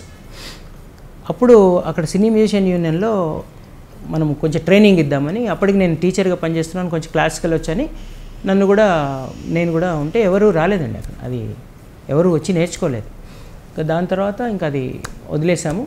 తర్వాత డాక్టర్ ఎస్పి బాలసుబ్రహ్మణ్యం గారు కార్గిల్ వార్లో దివంగతులైన వాళ్ళ కోసం ఒక ఒక ప్రోగ్రామ్ చేశారు ఇక్కడ. సినీ తారలు క్రికెట్ తారలు ఒక క్రికెట్ మ్యాచ్ ఆడారు. అప్పుడు ఒక సంఘటన జరిగిందండి. కార్గిల్ వార్లో దివంగతులైన స- సైనికుల కుటుంబాలకి సహాయార్థం సినీ తారలు క్రికెటర్స్ ఒక మ్యాచ్ ఆడారండి. అందులో ఈవినింగ్ ఎస్పి బాలసుబ్రహ్మణ్యం గారి ప్రోగ్రాం పెట్టారు. అప్పటికే పాడతా తీగతో బాలు గారికి మేము చాలా అందరం ఒక కుటుంబంలాగా అయిపోయాం అందరం. నేను ఒక స్కూల్లో పనిచేస్తున్నానని తెలుసు. అప్పుడు రామాచారి ఒకసారి రమ్మని పిలిచారు బాలుగారు పిలిచి నేను ఒక ప్రోగ్రాం చేస్తున్నాను. అదేమో నేను రెగ్యులర్గా పాడే పాటలు కాదు. అది పేట్రియాటిక్ పేట్రియాటిజం ఉన్న ప్రోగ్రాం. అన్ని పేట్రియాటిక్ సాంగ్స్ ఎక్కువ పాడతాను. కార్గిల్ వారిలో దివంగతులైన వాళ్ళ కోసం. కాబట్టి నాకు కొంత గ్రూప్ కావాలి. నువ్వు స్కూల్లో పనిచేస్తున్నావు కదా ఒక గ్రూప్ తీసుకొచ్చి కోరస్ పాడించు కండక్ట్ చేయమంటే అప్పుడు నేను మా స్కూల్లో పాడేవాళ్ళు తర్వాత మాకు తెలిసిన కొంతమంది కుటుంబాలలో పాడే పిల్లల్ని తీసుకెళ్ళి సార్ మెయిన్గా పాడుతుంటే మేము అన్ని ఆయన పేట్రియాటిక్ సాంగ్స్ పాడుతుంటే నేను కోరస్ కండక్ట్ చేశాను. అట్లా అప్పుడు నా మనసులోకి వచ్చిన భావన ఏంటంటే ఇక్కడ కోరస్ సింగర్స్ లేరు సింగర్స్ లేరు కానీ టాలెంట్ ఉంది. అప్పటికే నేను ఆల్ సైన్స్ హై స్కూల్లో పనిచేసేటప్పుడు నేను గమనించింది ఏంటంటే one percent minimum one percent people can sing in this world. ఒక వంద మందిని మనము కనుక పాడిస్తే ఒక వన్ టు టూ పర్సెంట్ మధ్యలో కొంచెం సింగింగ్ టాలెంట్ ఉన్న అంటే మ్యూజికల్లీ గిఫ్టెడ్ వాళ్ళు ఉంటారు. అంటే శృత్వంగా పాడే గొంతులు ఉంటాయి. వాళ్ళని కరెక్ట్గా నేర్పిస్తే వాళ్ళు సింగర్స్ అవుతారు. మ్యూజిక్ కూడా ఒక శాస్త్రం అన్ని శాస్త్రాలాగే ఇది ఒక శాస్త్రం.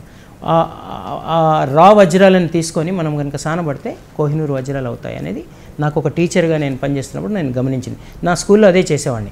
మొత్తం యాభై మంది అరవై మంది ఉండేవాళ్ళు ఒక క్లాస్లో. అందరినీ పాడించేవాడిని. మీ ఇష్టం వచ్చిన పాట. అందులో నాకు దొరికేవాళ్ళు. అలా ఒక గ్రూప్ స్కూల్లో చేసి నేను సక్సెస్ఫుల్గా ఒక గ్రూప్ తయారు చేశాను మా స్కూల్లో. చాలా అద్భుతంగా పాడించేవాడిని. ఆ, ఆ గ్రూప్తో రేడియోలో పాడించేవాడిని. దూరదర్శన్లో రేడియోలో ఆల్ ఇండియా లెవెల్ కాంపిటీషన్లో కూడా మా గ్రూప్కి ఫస్ట్ ప్రైజ్ వచ్చింది. ఆ గ్రూప్లోంచి వచ్చిన వాళ్ళే మా స్కూల్ గ్రూప్లోంచి వచ్చిన వాళ్ళే ఒక మొహమ్మద్ ఇర్ఫాన్ అలీ బాలీవుడ్ సింగర్ హేమచంద్ర ఇప్పుడు వివేక్ సాగర్ అని మ్యూజిక్ డైరెక్టర్ ఉన్నాడు పెళ్ళి చూపులు. వీళ్ళందరూ ఆ గ్రూప్లో ఉండే పిల్లలే అనమాట సో మీ శిష్యులు. మీ శిష్యులు అందరు ఇప్పుడు ఎల్ఎంఏ ద్వారా మీరు ఉచితంగా ఇవ్వాలన్న ఆలోచన ఎందుకు వచ్చింది? అదే చెప్తాను. తర్వాత నాకు అనిపించి నేను అరే మనమే తయారు చేసుకోవచ్చు కదా. అసలు ఇక్కడ ఏమి లేదు. హైదరాబాద్లో పాడేవాళ్ళు లేరు. తెలుగు అప్పుడు ఒకటే తెలుగు రాష్ట్రం ఉండేది. మన తెలుగు రాష్ట్రంలో పాడే పిల్లలే కరువయ్యారా? అని ఒక క్వశ్చన్ వచ్చింది నాకు.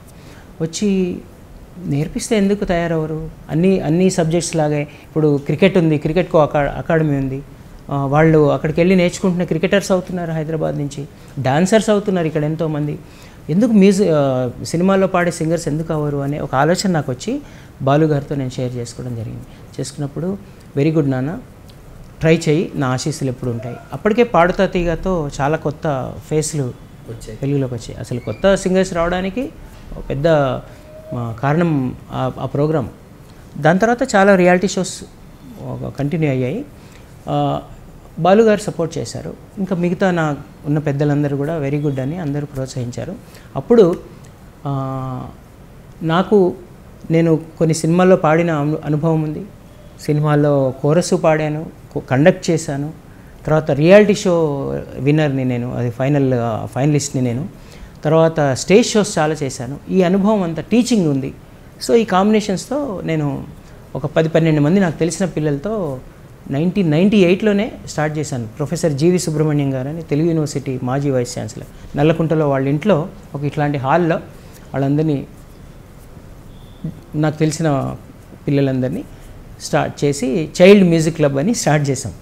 దాని తర్వాత మెల్లిమెల్లిగా ఫస్ట్ బ్యాచ్లో మాకు వీళ్ళంతా ఉన్నారు. ఇప్పుడు మీరు చూస్తున్న కారుణ్య హేమచంద్ర హిమబిందు ఇర్ఫాన్ తర్వాత దాని తర్వాత Harshika Saraswati Sravanthi Sravani. batch. First batch. Nineteen ninety ఎయిట్లో. తర్వాత శ్రీ సౌమ్య వారణాసి. ఇట్లా మెల్లిమెల్లిగా దాని తర్వాత దీపు కృష్ణ చైతన్య ఇంకా అలా అలా అలా గీతా మాధురి ప్రణవి తర్వాత తర్వాత పర్ణిక రమ్య అందరు ఇంకా అలా అలా అలా అలా అలా ఒక్కొక్క బ్యాచ్ అలా. ఇప్పుడు మీరు చూస్తున్న మోస్ట్లీ ఒక ఎయిటీ పర్సెంట్ సింగర్స్ మనం అలా మన ఎల్ఎంఏలో జాయిన్ అయ్యి నేర్చుకోవడం. నా- నా పర్పస్ ఏంటంటే మేకింగ్ ప్రొఫెషనల్ సింగర్స్. ఇప్పుడు ఇక్కడ క్లాసికల్ నేర్చుకున్న చాలామంది క్లాసికల్ ఒదుగుతో లైట్ మ్యూజిక్ పాడినా కొంచెం క్లాసికల్ ఒదుగు వచ్చి పాడుతుంటారు. అంటే ఈ లైట్ మ్యూజిక్ అనేది ఒక డిఫరెంట్ టెక్నిక్. ఏ మ్యూజిక్ అయినా మళ్ళీ మదర్ బోర్డ్ క్లాసికలే. క్లాసికల్ నేర్చుకుంటేనే అన్నీ పాడగలం. అదే అక్కడే పవర్ అక్కడే ఉంటుంది. క్లాసికల్లోనే పవర్ ఉంటుంది. కానీ ఈ ఈ జానర్ అంటే డిఫరెంట్ జానర్స్ ఉంటాయి మనకి. కవాలి పాడే విధానం ఒకటి ఉంటుంది. సినిమాకు ప్లేబ్యాక్ సింగింగ్ దానికి ఒక టెక్నిక్ డివోషనల్స్ ఒక టెక్నిక్ ఇలా డిఫరెంట్ టెక్నిక్స్ ఉంటాయి. ప్రజెంటేషన్ టెక్నిక్స్ ఉంటాయి. ఇలా నేను అప్పటికే కొంచెం క్లాసికల్ నేర్చుకుంటూ లలిత సంగీతం పాడుతూ సినిమా పాటలు పాడుతూ సినిమాలకు పనిచేస్తూ ఉన్న అనుభవంతో టీచింగ్ అనుభవంతో ఏదో ఉడతా భక్తి అంటారే. నేను పెద్ద అప్పటికి అప్పటికీ నేను నేను ఇంకా నేర్చుకుంటూనే ఉన్నాను. ఇప్పుడు కూడా నేర్చుకుంటూనే ఉన్నాను. ఏదో మనకు నే మనం నేర్చుకున్నది మనకంటే తక్కువ వచ్చిన వాళ్ళకి నేర్పిద్దాం. ఇది నేను అనుకున్నాను. మళ్ళీ నేను నేర్పించగలనా అనే ఒక క్వశ్చన్ ఇంకొక కాన్ఫ్లిక్ట్ ఏంటంటే ఇక్కడ ఇది ఇన్స్టిట్యూట్ పెట్టి నేర్పించడమా లేకపోతే నేను మ్యూజిక్ డైరెక్టర్గా సింగర్గా ప్రయత్నించడమా వెళ్ళి నా నా లక్ని ప్రయత్నించుకోవడం అయితే నాకు అనిపించింది మళ్ళీ ఇటువైపే మొగ్గు- మా మా ఫ్యామిలీ మెంబర్స్ కూడా నేను నా డెసిషన్ని వాళ్ళు ఓకే చేశారు. వెరీ గుడ్ ఇప్పుడు నేర్పించడం అనేది ఒక నీకు పుణ్యం కూడా మనకు పుణ్యం కూడా వస్తుంది. నలుగురిని తయారు చేస్తే అది కూడా మనకు ఆశీస్సులు భగవంతుడి. అంతమంది పిల్లల తల్లిదండ్రుల ఆశీస్సులు కూడా ఉంటాయని మా ఇంట్లో కూడా సపోర్ట్ చేశారు. మా గురువు గారులు కూడా అందరు సపోర్ట్ చేశారు. అప్పుడు ఎల్ఎంఏ ఈ ఇది పెట్టి తర్వాత లిటిల్ మిషన్స్ అకాడమీ అని పేరు మార్చి బాలసుబ్రహ్మణ్యం గారి చేతుల మీదుగా two thousand nine nineteen nineteen ఫిబ్రవరి ఎయిటీన్ రోజు ఇనాగ్రేట్ చేసాము ఇది చేసి అప్పటి నుంచి అలా కొనసాగుతూ ఉచితంగా ఎందుకు నేర్పిస్తున్నానంటే నేను ఒక పర్పస్తో పెట్టాను. నేను I have to make Kohinoor diamonds ఒక పర్పస్ని నేను చేరుకోవాలంటే అక్కడ ఎలాంటి డిమాండ్స్ ఉండొద్దు అటు సైడ్ నుంచి. సో నేను డబ్బు తీసుకున్నాను అనుకోండి. ఇంకా నేను నా ఇటు నుంచి కానీ అటు నుంచి కానీ ఈ పర్పస్ డైల్యూట్ అవుతుంది. వాళ్ళు డబ్బు ఇచ్చారు కదా అని వాళ్ళు నా సెలెక్షన్ ఉండదు ఇంకా. ఆప్షన్ ఉండదు ఇంకా నాకు. సెలెక్షన్ ఉండదు ఇంకా. ఎవరు వస్తే వాళ్ళని చేర్చుకోవడం. డబ్బు అనేసరికి కూడా ఎంతమందిని ఎక్కువ చేర్చుకుంటే అంత బెస్ట్ అని బ్రాంచెస్ ఇవన్నీ రకరకాల వైపుకి వెళ్ళిపోతుంది. నాకేంటంటే ప్రతి మనిషి అండి ఇప్పుడు ఇప్పుడున్న మనుషులందరూ కూడా ప్రతి వాళ్ళు ఏదో ఒక చారిటీ చేస్తారండి. ప్రతి వాళ్ళు మీరు అసలు కొంతమంది చెప్పారండి. బయటకు చెప్పరు. కొంతమంది చెప్తారు కొంతమంది పబ్లిసిటీ ఇచ్చుకుంటారు. చారిటీ చేస్తారు దానికి పబ్లిసిటీ ఇచ్చుకుంటారు. కొంతమంది అస్సలు చ- పబ్లిసిటీ ఇచ్చుకోకుండా గుప్తంగా చాలామంది చేస్తుంటారు. ఇప్పుడు నాకు తెలిసిన వాళ్ళు కూడా ఎవరిని అడిగినా ఎవరిని అడిగినా పర్సనల్గా మా వాళ్ళతో మాట్లాడినప్పుడు తెలుస్తుంది. వాళ్ళు కొంతమంది చదివిస్తుంటారు కొంత వృద్ధాశ్రమానికి ఇస్తుంటారు. ఇలా ఇప్పుడున్న సామాన్య ప్రజల్లో ప్రతి వాళ్ళండి వాళ్ళ శక్త్యానుసారంగా చారిటీ చేస్తున్నారండి. అలాగే నాకు భగవంతుడు ఎన్ని ఇచ్చాడు తర్వాత మా గురువులు ఇద్దరు కూడా నాకు ఉచితంగా బోధించారండి. మా లీలావతి గారు కానీ సాయిబాబు గారు నా దగ్గర ఒక్క పైసా తీసుకోలేదు. పైగా నాకు వాళ్ళు భోజనం పెట్టి మరీ వాళ్ళ ఇంటికి వెళ్ళి మేము క్లాస్ అయినప్పుడు భోజనం కూడా అక్కడే చేసేవాళ్ళం. సో అలా ఉండేది మాకు. మా గురుకులం పద్ధతిలో నేర్పించారు వాళ్ళు. సో ఒక గోల్ రీచ్ అవ్వాలంటే ఈ ఇది చాలా పవిత్రంగా ఉండాలి అని నేను సెలెక్ట్ చేసుకున్న వాళ్ళనే నేర్పిస్తానండి. ఇప్పుడు నేను చెప్పాను one percent musically gifted voices ఉంటాయి అట్లా శృత్వంగా ఉన్న వాయిసెస్ని సెలెక్ట్ చేసుకొని స్టా నేను నాకు తెలిసినంత వరకు వాళ్ళకి నేర్పిస్తూ ఒక ప్రొఫెషనల్ సింగర్కి కావాల్సినవన్నీ అంటే చాలా ఉంటాయండి. రాగం తాళాలే కాకుండా ఇప్పుడు క్లాసికల్లో నేర్చుకున్న రాగాన్ని లైట్ మ్యూజిక్ మీద ఒక పాట మీద ఎలా అప్లై చేయాలి ఎంత డోస్తో అప్లై చేయాలి? అందులో తర్వాత గమకాలు ఎన్నో రకాల గమకాలు ఉంటాయి. ఒదుగులు తర్వాత బ్రెత్ మేనేజ్మెంట్ బ్రెత్ మేనేజ్మెంట్ అని ఉంటుంది. తర్వాత వాయిస్ కల్చరు తర్వాత త్రిస్థాయిల్లో మన వాయిస్ని ఎలా కంట్రోల్ చేసుకొని పాడాలి తర్వాత మాడ్యులేషన్స్ డైనమిక్స్ తర్వాత మైక్ ఎలా పట్టుకోవాలి ఎక్కడ ఎలా ఫోకస్ చేయాలి ఎక్కడ సౌండ్ త్రో చేయాలి. సో ఇవన్నీ కూడా రికార్డింగ్ స్టూడియోలో ఎలా పాడాలి ఎలా నేర్చుకోవాలి స్టేజ్ మీద ఎలా పాడాలి బాడీ లాంగ్వేజ్ అంటే చాలా ఉంటాయండి. ఇందులో కూడా మళ్ళీ ఇదొక కరికులం ఇదొక సిలబస్ ఉంటుంది. లైట్ మ్యూజిక్ సింగింగ్ కూడా. నేను అలా నాకు నాకు తెలిసినంత వరకు నేను రీసెర్చ్ చేసి చేస్తూ చేస్తూ ఒక ఒక పద్ధతి నేను. ఇప్పుడు నేను నా లైట్ మ్యూజిక్ ఒక సినిమా పాటని కూడా ఒక క్లాసికల్ మ్యూజిక్ కీర్తన లాగా నేర్పిస్తాను. ముందు దాని రాగం నేర్పిస్తాను. తర్వాత ఆ లిరిక్ని చదివించి దాని మీనింగ్ చెప్తాను. అందులో పాత్ర ఏంటని చెప్తాను. ఏ పాత్ర ఇంకో ఇంకా ఎవరిని ఉద్దేశించి పాడుతుంది?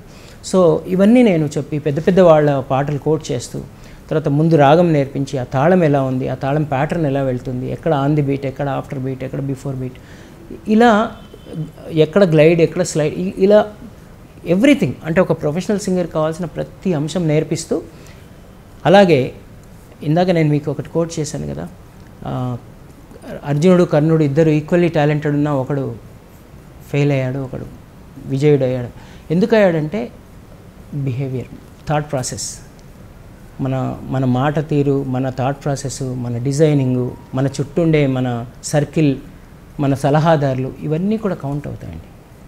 ఎందుకంటే టెంపరీ ఇప్పుడైతే ఇంకా ఇప్పుడు టెంపరీగా ఫాస్ట్గా రిజల్ట్స్ రావాలనే కోరిక కోరిక ఉన్న వాళ్ళు ఎక్కువ ఉన్నారు. అలా కాదు అని చెప్తాను. మా దగ్గర ఎల్ఎంఏ పిల్లలకి వాళ్ళ తల్లి తల్లిదండ్రులు కూడా లోపలే కూర్చుంటారండి. మా ముందర కింద గురుకులం పద్ధతిలో ఉంటుంది మా క్లాస్. మీరు చూశారు కదా? అందరూ వైట్ డ్రెస్ వైట్ కాటన్ డ్రెస్లు వేసుకున్నారు. ఎందుకంటే అక్కడ పిల్లల్లో ఎలాంటి భేదభావాలు ఉండకూడదు. సో మా దగ్గర వచ్చి నేర్చుకునే పిల్లల్లో అన్ని రకాల అన్ని వర్గాల వాళ్ళు ఉన్నారు. అన్ని ప్రాంతాల వాళ్ళు ఉన్నారు. మొత్తం ఈ రెండు ఇప్పుడున్న రెండు రాష్ట్రాల్లో అన్ని జిల్లాల నుంచి వస్తారండి సెలెక్ట్ అయిన వాళ్ళు.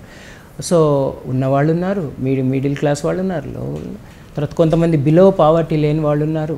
వాళ్ళకి ఎల్ఎంఏనే రాను పోను రైలు ఛార్జీలు బస్ ఛార్జీలు కూడా ఇచ్చి వాళ్ళకి మె- మెటీరియల్ కూడా ఇస్తున్నాము. అలాగే వాళ్ళకి కొంతమందికి స్కూల్ ఫీజులు కూడా కడుతున్నాం కాలేజీ ఫీజులు అట్లా. కొంత చారిటీ కూడా ఎల్ఎంఏ ద్వారా కొంత అలా అలా కూడా జరుగుతోంది. అయితే అందరూ బయట చెప్పులు వదిలేసి కింద గురుకులం పద్ధతిలో కూర్చుంటారు. అందరూ ఒకటే అక్కడ ఈక్వల్. పేరెంట్స్ అంతా రౌండ్గా కూర్చుంటారు. అక్కడ నేను సంగీతంతో పాటు వాళ్ళ థాట్ ప్రాసెస్ ఎలా ఉండాలి? ఇలా లాంగ్ విజన్ లాంగ్ విజన్ ఎలా వాళ్ళు వేసుకోవాలి? ఏ ఏ కెపాసిటీతో మీరు వెళ్ళాలి? అక్కడ నేను గ్రూప్స్ చేస్తానండి. One two three four. అలా గ్రూప్స్ తర్వాత ప్రొఫెషనల్ బ్యాచ్ అని ఉంటుంది. సో ఇలా వాళ్ళని అలా అలా అలా అంచెలంచెలుగా ఎదుగుతూ కన్స్ట్రక్టివ్గా మీరు పైకి రావాలి. ఒక్కసారి ఇలా ఇక్కడికి వచ్చారంటే మళ్ళీ కిందికి రాకూడదు. సో ఇలా ఇటు సంగీతపరంగా కానీ అటు ఒక మనిషిగా కానీ మీరు జాగ్రత్తగా యాటిట్యూడ్ తర్వాత ఏదేమైనా basic requirement is humanity so be a human being first quali qualification first quality should inculcate and develop is humanity so అది నేను చాలా ప్రాధాన్యత ఇస్తానండి. You respect your co human being every one is equal so అట్లా అది చూ ఆ- విశాల దృక్పథంతో మనము ముందుకెళ్ళాలి. తర్వాత ఎలాంటి రోగాలు మానసిక రోగాలు లేకుండా మానసిక రోగాలు అంటే కోపము ఈర్ష్య ద్వేషము డిప్రెషను ఇన్ఫీరియారిటీ సుపీరియారిటీ కంపారిజన్స్ ఇవన్నీ కూడా రోగాలని వాళ్ళకి చెప్తాను. ఇవన్నీ కూడా మైండ్లోంచి తీసేసి చాలా ప్లెజెంట్గా చాలా న్యా న్యాచురల్ బ్రీజ్ లాగా ఉండాలి మనం ఎప్పుడు. న్యాచురల్ ఒక మంచి ఇప్పుడే వికసించిన పువ్వులాగా ఉండాలి మనం అని వాళ్ళకి నేను నాకు తెలిసినంత వరకు చెప్తూ కొన్ని సెమినార్స్ అలాంటి వర్క్షాప్స్ కూడా కండక్ట్ చేసి పెద్ద పెద్ద వాళ్ళని నిష్ణాతుల్ని పిలిపించి కూర్చొని నేను కూడా నేర్చుకుంటూ. తర్వాత ఏమైందంటే నేను ఎప్పుడైతే ఎల్ఎంఏ స్టార్ట్ చేశానోనండి అప్పటి నుంచి నేను నేర్చుకోవడం ఎక్కువ పెంచాను. ఎందుకంటే అప్పటిదాకా నేను కూడా కొంచెం అటు ఇటుగా నేర్చుకునే అటు ఇటుగా నేర్చుకునేవాడిని. అంత అంత హండ్రెడ్ పర్సెంట్ సీరియస్నెస్ నేను కూడా ఏదో నేర్చుకొని తొందరగా పాడేసేయాలని అందరికీ ఉంటుందండి. ప్రతి వాళ్ళకు ఉండేది నాకు కూడా అవే ఉండేవి. కానీ నేను నేర్పించాలంటే నాకు కూడా ఉండాలి కదా. నా బ్యాంక్ బ్యాలెన్స్ అయిపోకూడదని అప్పటి నుంచి ఇప్పుడు కూడా అండి నేను ప్రతిరోజు నేను వింటూనే ఉంటాను కొత్త కొత్త రాగాలు. యూట్యూబ్లోకి వెళ్ళి కూడా నేను నేర్చుకుంటుంటాను. ఎవరైనా ప్రత్యక్షంగా వెళ్ళి కూడా తర్వాత హిందుస్థానీ మ్యూజిక్ లలిత గారి దగ్గరికి వెళ్ళి నేర్చుకోవడం. ఇట్లా ఇప్పుడు కూడా ఎవరు ఎవరి దగ్గర ఏమొస్తు ఏముంటే అది నేను వెళ్ళి ఒక ఒక పాఠమన్నా నేర్చుకుంటుంటాను నేను. సో నేను ఎప్పుడు స్టాక్ పెట్టుకొని నా స్టూడెంట్స్కి నేర్పిస్తుంటాను.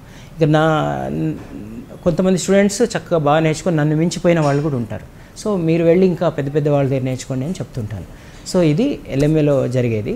అయితే పూర్తిగా ఒక రెంటెడ్ బిల్డింగ్లో జరుగుతుంది. ఆంధ్ర మహిళా సభ కాలేజ్ అని ఒకటి ఉంది.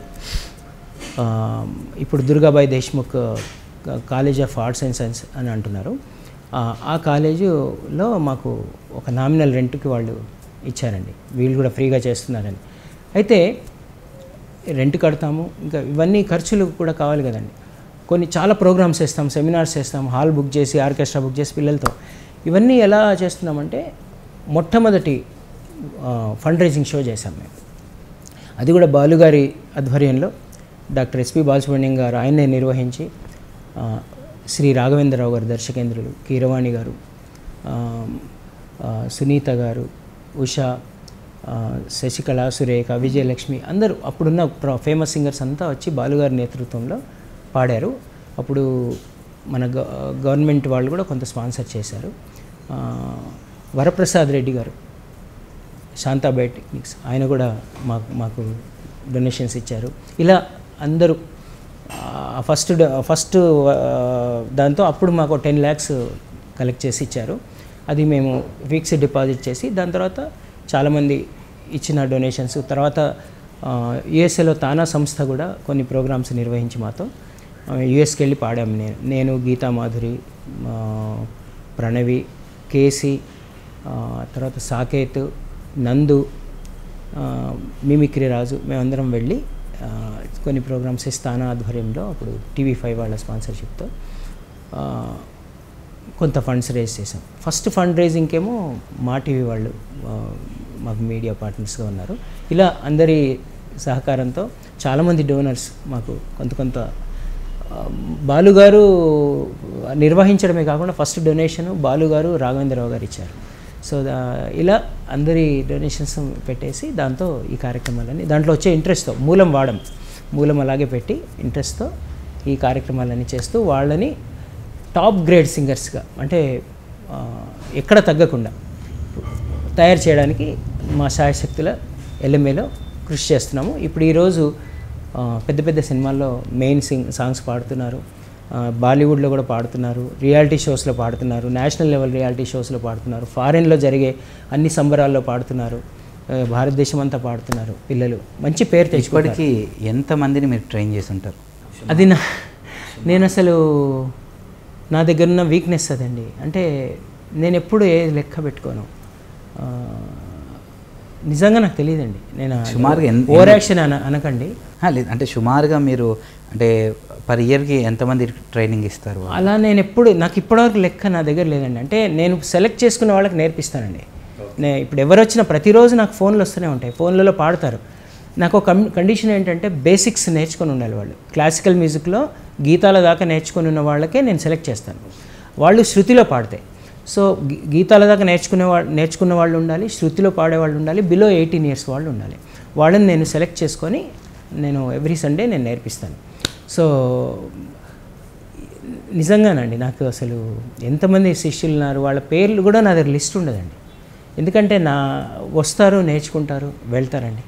తర్వాత వాళ్ళు మంచి పేరు తెచ్చుకుంటున్నారు బాగా పాడుతున్నారు అలాగే మంచి బిహేవియర్ కూడా ఉందని చాలామంది వాళ్ళ పాటలు వింటూ మళ్ళీ వాళ్ళకి వచ్చే పేరుని చూస్తూ చాలామంది నాకు ఫోన్ చేసి మీ పలానా స్టూడెంట్ ఇక్కడ పాడారు వాళ్ళు బాగా పాడారు. అట్ ది సేమ్ టైం చాలా మంచి బిహేవియర్ ఉంది. ఇవన్నీ కూడా నాకు వాళ్ళ దగ్గర నుంచి వచ్చే రెమ్యునరేషన్గా భావిస్తూ నేను సంతోషిస్తున్నాను కానీ ఏది లెక్కలు పెట్టుకోలేదు ఇప్పటివరకు. నేను ఎంతమందిని నేను ఎంతమందిని ట్రైన్ చేశాను తర్వాత ఎన్ని ప్రోగ్రామ్స్ వేసాను ఎన్ని పాటలు పాడాను ఈ ఇదేమీ లేదండి. అసలు నా దగ్గర నా ప్రొఫైల్ కూడా లేదు నా దగ్గర.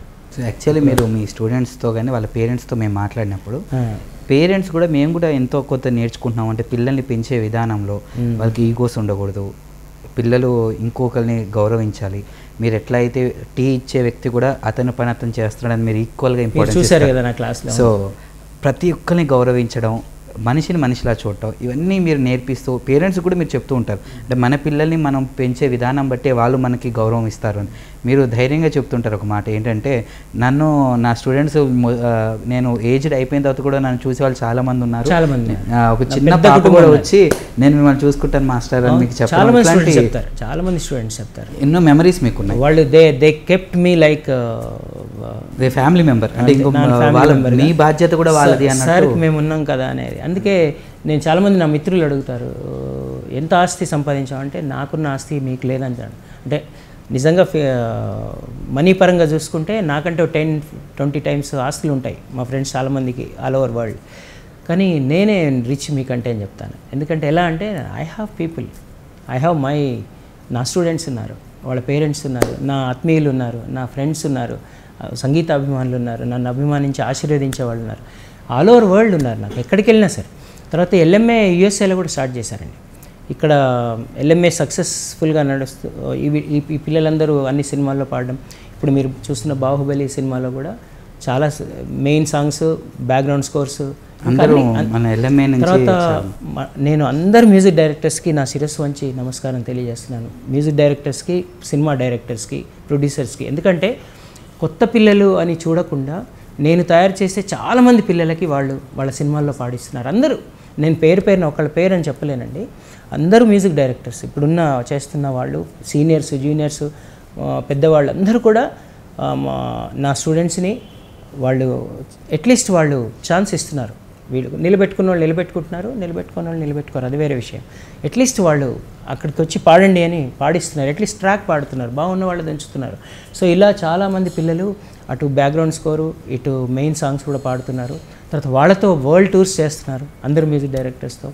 తర్వాత వాళ్ళకి మ్యూజిక్ అసిస్టెంట్స్గా కూడా పనిచేస్తున్నారు. కొంతమంది పిల్లలు మ్యూజిక్ డైరెక్టర్స్ కూడా అవుతున్నారు మెల్లిమెల్లిగా. సో ఈ ఇది- ఇది నా ఆస్తి అండి. చాలా పెద్ద ఆస్తి నాకు. స్కైప్లో క్లాసెస్ గురించి మీరు స్కైప్లో కూడా క్లాసెస్ చెప్తారు. అదే చెప్తున్నాను. ఇప్పుడు ఈ ఇక్కడ జరిగి ఈ ఈ లిటిల్ మిషన్స్ అకాడమీ ఇన్ని ఏళ్ళుగా ఇంతమంది స్టూడెంట్స్ని మే తీసుకొచ్చింది అంటే చూపించింది ప్రపంచానికి. ఇంకోటి మాకు మాది సింగింగ్ కాబట్టి స్పెషల్గా పబ్లిసిటీ ఎక్కర్లేదండి మాకు. మా పిల్లలు వెళ్ళి పాడినప్పుడల్లా ఎక్కడ నేర్చుకుంటున్నాం అని అడుగుతారు. మా పలానా ఎల్ఎంఏలో నేర్చుకుంటున్నాం అనేసరికి అందరికీ తెలిసిపోతుంది అలా రామాచారి గారి దగ్గర ఎల్ఎంఏ అనేది అన్ని ఛానల్స్ కూడా నేను నిజంగా నేను చాలా రుణపడి ఉంటానండి ఎందుకంటే మనం నేర్పించిన వాళ్ళని ప్రపంచానికి చూపించే వాళ్ళు ఎవరండి? సిన్ టీ- టీవీ ఛానల్స్ వాళ్ళే అలాగే సినిమా రంగమే అలాగే కళా సంస్థలు ఇవే కదండి. ఇప్పుడు నేను నేర్పిస్తాను కానీ వాళ్ళకి వేదికనివ్వాలిగా ఎవరైనా? సో అనేక కళా సంస్థలు ఇక్కడున్న సంస్థలు అలాగే టీవీ ఛానల్స్ తర్వాత సినిమా రంగం అందరూ కూడా ఈ పిల్లల్ని అస్సలు హెసిటేట్ చేయకుండా కొత్త వాళ్ళు ఏం లేదు టాలెంట్ ఉన్న వాళ్ళందరినీ ఇప్పుడు ప్రొజెక్ట్ చేస్తున్నారండి. సో చాలా మంచి పరిణామం అది. ఈ సందర్భంగా నా తరఫున ఎల్ఎంఏ తరఫున అందరికీ నా కృతజ్ఞతలు తెలియజేస్తున్నాను. అలాగే ఇక్కడ ఇది చూసి కూచిపట్ల ఆనంద్ గారని ఉన్నారు. ప్రవాసాంధ్ర ఆ, సిలికాన్ ఆంధ్ర వ్యవస్థాపకులు. అక్కడ ఆయన రామచారి గారు మీరు ఇక్కడ పిల్లల్ని ఎలా తయారు చేస్తారో మా దగ్గర కూడా పిల్లల్లో చాలా టాలెంట్ ఉంది యూఎస్ఏలో. మీరు అక్కడ వచ్చి నేర్పించండి అన్నారు. అక్కడెవరు నేర్చుకుంటారు సార్ అని నేను అన్నాను. లేదు లేదు ట్రై చేద్దాం అని నన్ను నేను అసలు ముందు రిజెక్ట్ చేశాను. చేశాక మళ్ళీ ఆయన పట్టు వదలని విక్రమార్కుడు లాంటి వాడు. సో మళ్ళీ నన్ను తీసుకొని వెళ్ళి రాజ్మహల్లో మంచి టిఫిన్ పెట్టించి కూర్చొని మీరు వస్తున్నారు. దట్స్ ఇట్ అని ఆయన నన్ను ఫస్ట్ టూ థౌజండ్ నైన్లో కాలిఫోర్నియా బే ఏరియాకి తీసుకెళ్ళి కేవలం లై లైట్ లలిత సంగీతం నేర్పించారు. సిన్ ఒక్క సినిమా పాట కూడా నేర్పించాల. కేవలం లలిత సంగీతము అన్నమయ్య కృతులు అక్కడ ఎంత బాగా నేర్చుకున్నారంటే ఆ పిల్లలు ఆ తల్లిదండ్రులు. నేను ఆయనకి సారీ చెప్పాను. సారీ సార్ నేను ఇలా ఊహించలేదు. ఇక్కడ అంటే పిల్లలు ఏం నేర్చుకుంటారు అని.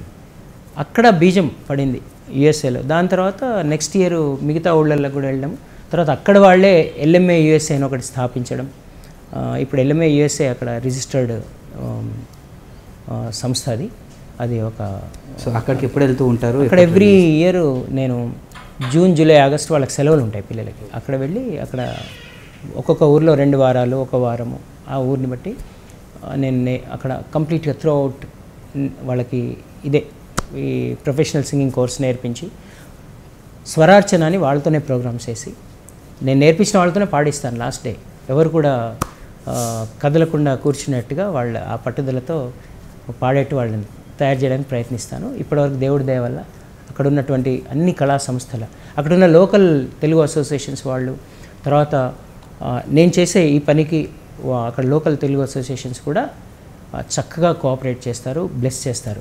అలాగే ప్రముఖ సంస్థలు తానా నాట్స్ నాట ఆట వీళ్ళందరూ కూడా ఎల్ఎంఏ దగ్గరికి వచ్చేసరికి ఏ ప్రోగ్రామ్ అయినా వాళ్ళది ఏ ఏ- కన్వెన్షన్ అయినా మన పిల్లలతో ఒక మన పిల్లలకు స్లాట్ ఇచ్చి పాడిస్తారు. సో అందరు కోఆపరేషన్ లేకుండా ఏది ఎదగదండి. సో అక్కడ ఉన్న సంస్థలన్నిటి కూడా నా కృతజ్ఞతలు. సో మీ ఫ్యామిలీ విషయం తీసుకుంటే మీ పిల్లని కూడా ఇంటూ లోకి తీసుకొచ్చారు. సాకేత్ గారు కానీ సోనీ సాహిత్య గారు కానీ వాళ్ళు ఇప్పుడు సక్సెస్లో బాగున్నారు. రీసెంట్గా బాహుబలిలో కూడా ఇద్దరూ పాడడం జరిగింది.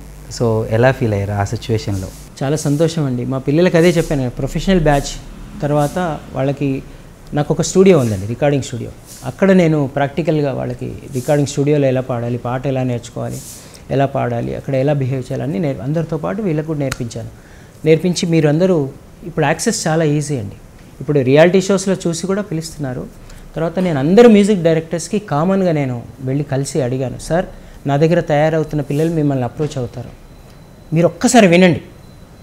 పాడిస్తారా లేదని తర్వాత అని నేను ప్రతి వాళ్ళకి అందరూ ఇంచుమించుగా ఇక్కడున్న సినీ మ్యూజిక్ డైరెక్టర్స్ అందరికి కూడా నేను తెలుసు. సో వాళ్ళందరూ నన్ను అభినందిస్తారు. నువ్వు మంచి పని చేస్తున్నావు. ఇంతమందిని తయారు చే అంటే వాళ్ళ దగ్గరికి వెళ్ళి కోరస్ పాడుతున్నారు కదండి. సో నేను అందరినీ నా తరఫున కూడా అభ్యర్థిస్తుంటాను. ఎప్పుడు కలిసినా మా పిల్లల్ని పాడించండి సార్. మా పిల్లలంటే సాకేత్ సోని కాదు. Institute LMA. అందరిలో వీళ్ళు ఇద్దరు కూడా ఒకళ్ళే. వీళ్ళకి ఏం చెప్తానంటే మీరు వెళ్ళి అప్రోచ్ అవ్వండి. ఒక సీడీలో మీ పాట చేసి పంపించండి. లేకపోతే మెయిల్ చేయండి వాళ్ళకి.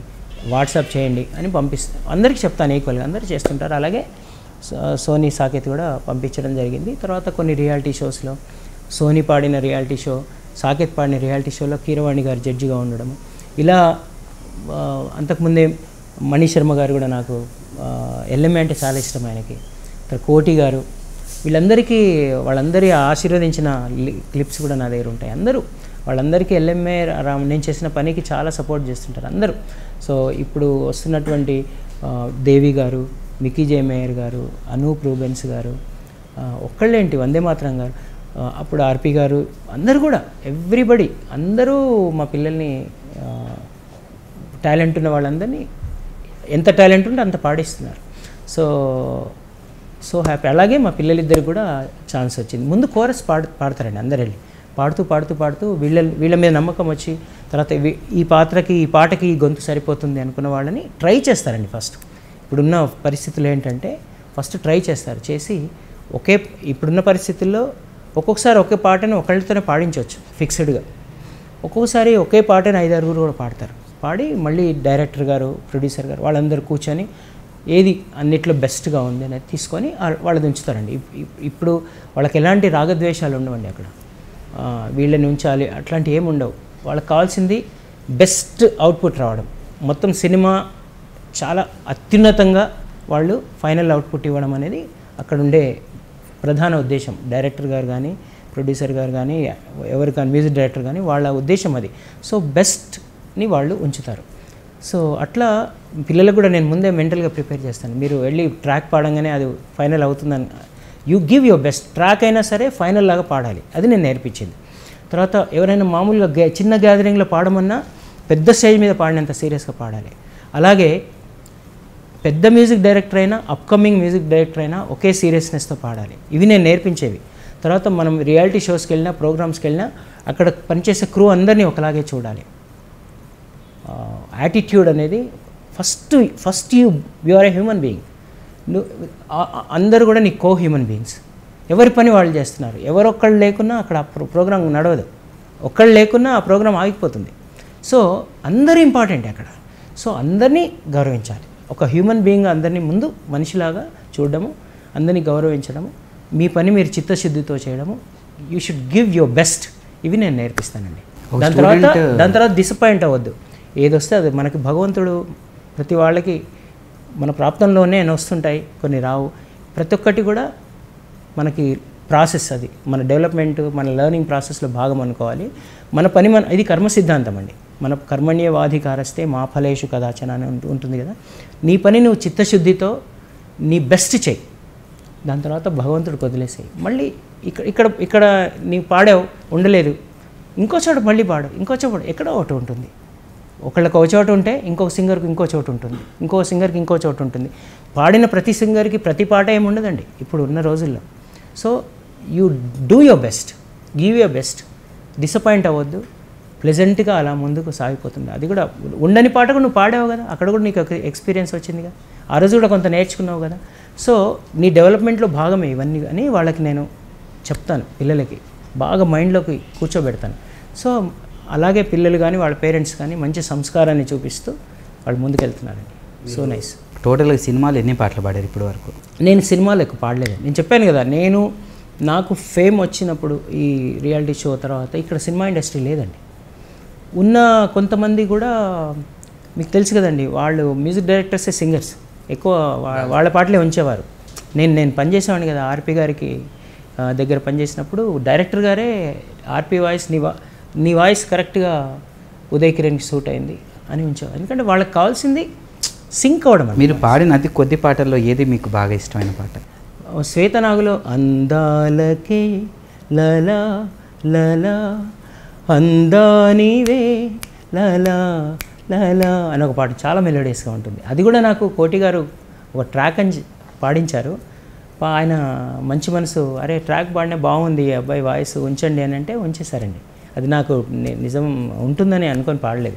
సో అలాగే రామ రామాయణం బాలరామాయణాలు రావణాసురుడికి పద్యాలు పాడాను నేను. తర్వాత మాధపేది సురేష్ గారికి నేను అసిస్టెంట్గా పనిచేశాను తర్వాత సంబరంలో నక్కతో కతొక్కావురు అనే పాట పాడాను.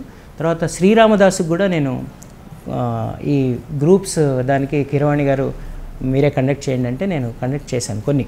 ఆయన నాతో కండక్ట్ చేయించారు. కొన్ని వాయిస్ టేకింగ్స్ అన్నీ. అప్పుడు ఆ, చరణములేనం మీతి అది ట్రాక్ నేనే పాడాను. తర్వాత అందులో కొన్ని భాగాలు. మధు బాలకృష్ణ గారు. పాడారు. అందులో నేను కొంత ఆలాప్సంని నేను పాడాను. మ్మ్. చరణములేనం మితి నీ దివ్య చరణములేనం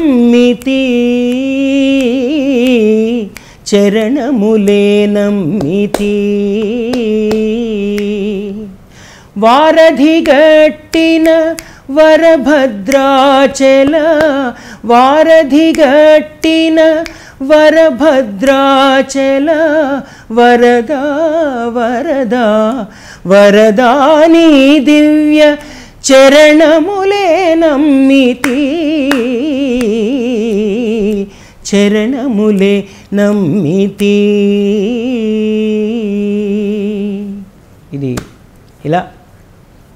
కొన్ని కొన్ని పాడానండి. కొన్ని పాడాను కానీ అవి రిలీజ్ కాలేదండి ఇంకా మ్యూజిక్ డైరెక్టర్గా మీ ప్రస్థానం గురించి ఎన్ని సినిమాలకు మ్యూజిక్ డైరెక్షన్ మ్యూజిక్ డైరెక్టర్గా నేను ఎప్పుడు ప్రయత్నించలేదండి. నేను ఇంకా దాని తర్వాత నేను సింగర్గా కానీ మ్యూజిక్ డైరెక్టర్గా నేను ఎవరిని అప్రోచ్ అవ్వలేదు. నాది నాది మారిపోయిందండి. అంటే మారిపోవడం అంటే నాకు ఎక్కువ నేను డివోషనల్ సాంగ్స్ చేయడం లలిత గీతాలు ఎక్కువ చేయడం నేను ఎక్కువ ప్రైవేట్ సింగ్ క్యాసెట్స్ చాలా చేశానండి. డివోషనల్ సాంగ్స్ విపరీతంగా నేను కంపోజ్ చేశాను. ఇప్పుడు కూడా నాకున్న అదృష్టం ఏంటంటే టీటీడీ తిరుమల తిరుపతి దేవస్థానం వారు కొత్త సంకీర్తనలు కంపోజ్ చేసే చేయడానికి కొంతమంది మ్యూజిక్ డైరెక్టర్ని సెలెక్ట్ చేశారు. అందులో నేను ఒకడిని దర్శకేంద్రులు రాఘవేంద్రరావు గారి ఆధ్వర్యంలో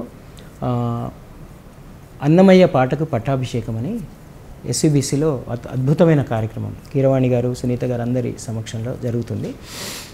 అందులో నేను one of the music directors. ఇప్పటివరకు రెండు వందల కొత్త సంకీర్తన అన్నమయ్య వారు రచించిన సంకీర్తనల్లో ఇంకొక పన్నెండు వేల సంకీర్తనలు కంపోజ్ చేయకుండా ఉన్నాయి. ఒక అరౌండ్ సెవెంటీన్ ఎయిటీన్ హండ్రెడ్ మాత్రమే ఇంతకుముందు కంపోజ్ చేసి ఉన్నాయి తర్వాత ఎస్వీఆర్పి అని అక్కడ ఒక ప్రాజెక్ట్ ఉంది.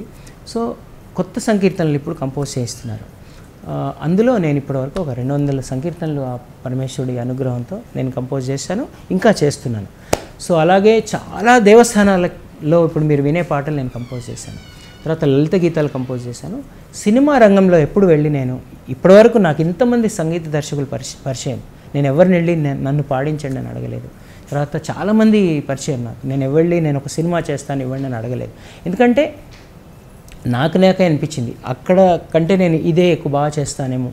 టీచింగ్ సైడ్ బాగా చేస్తాను.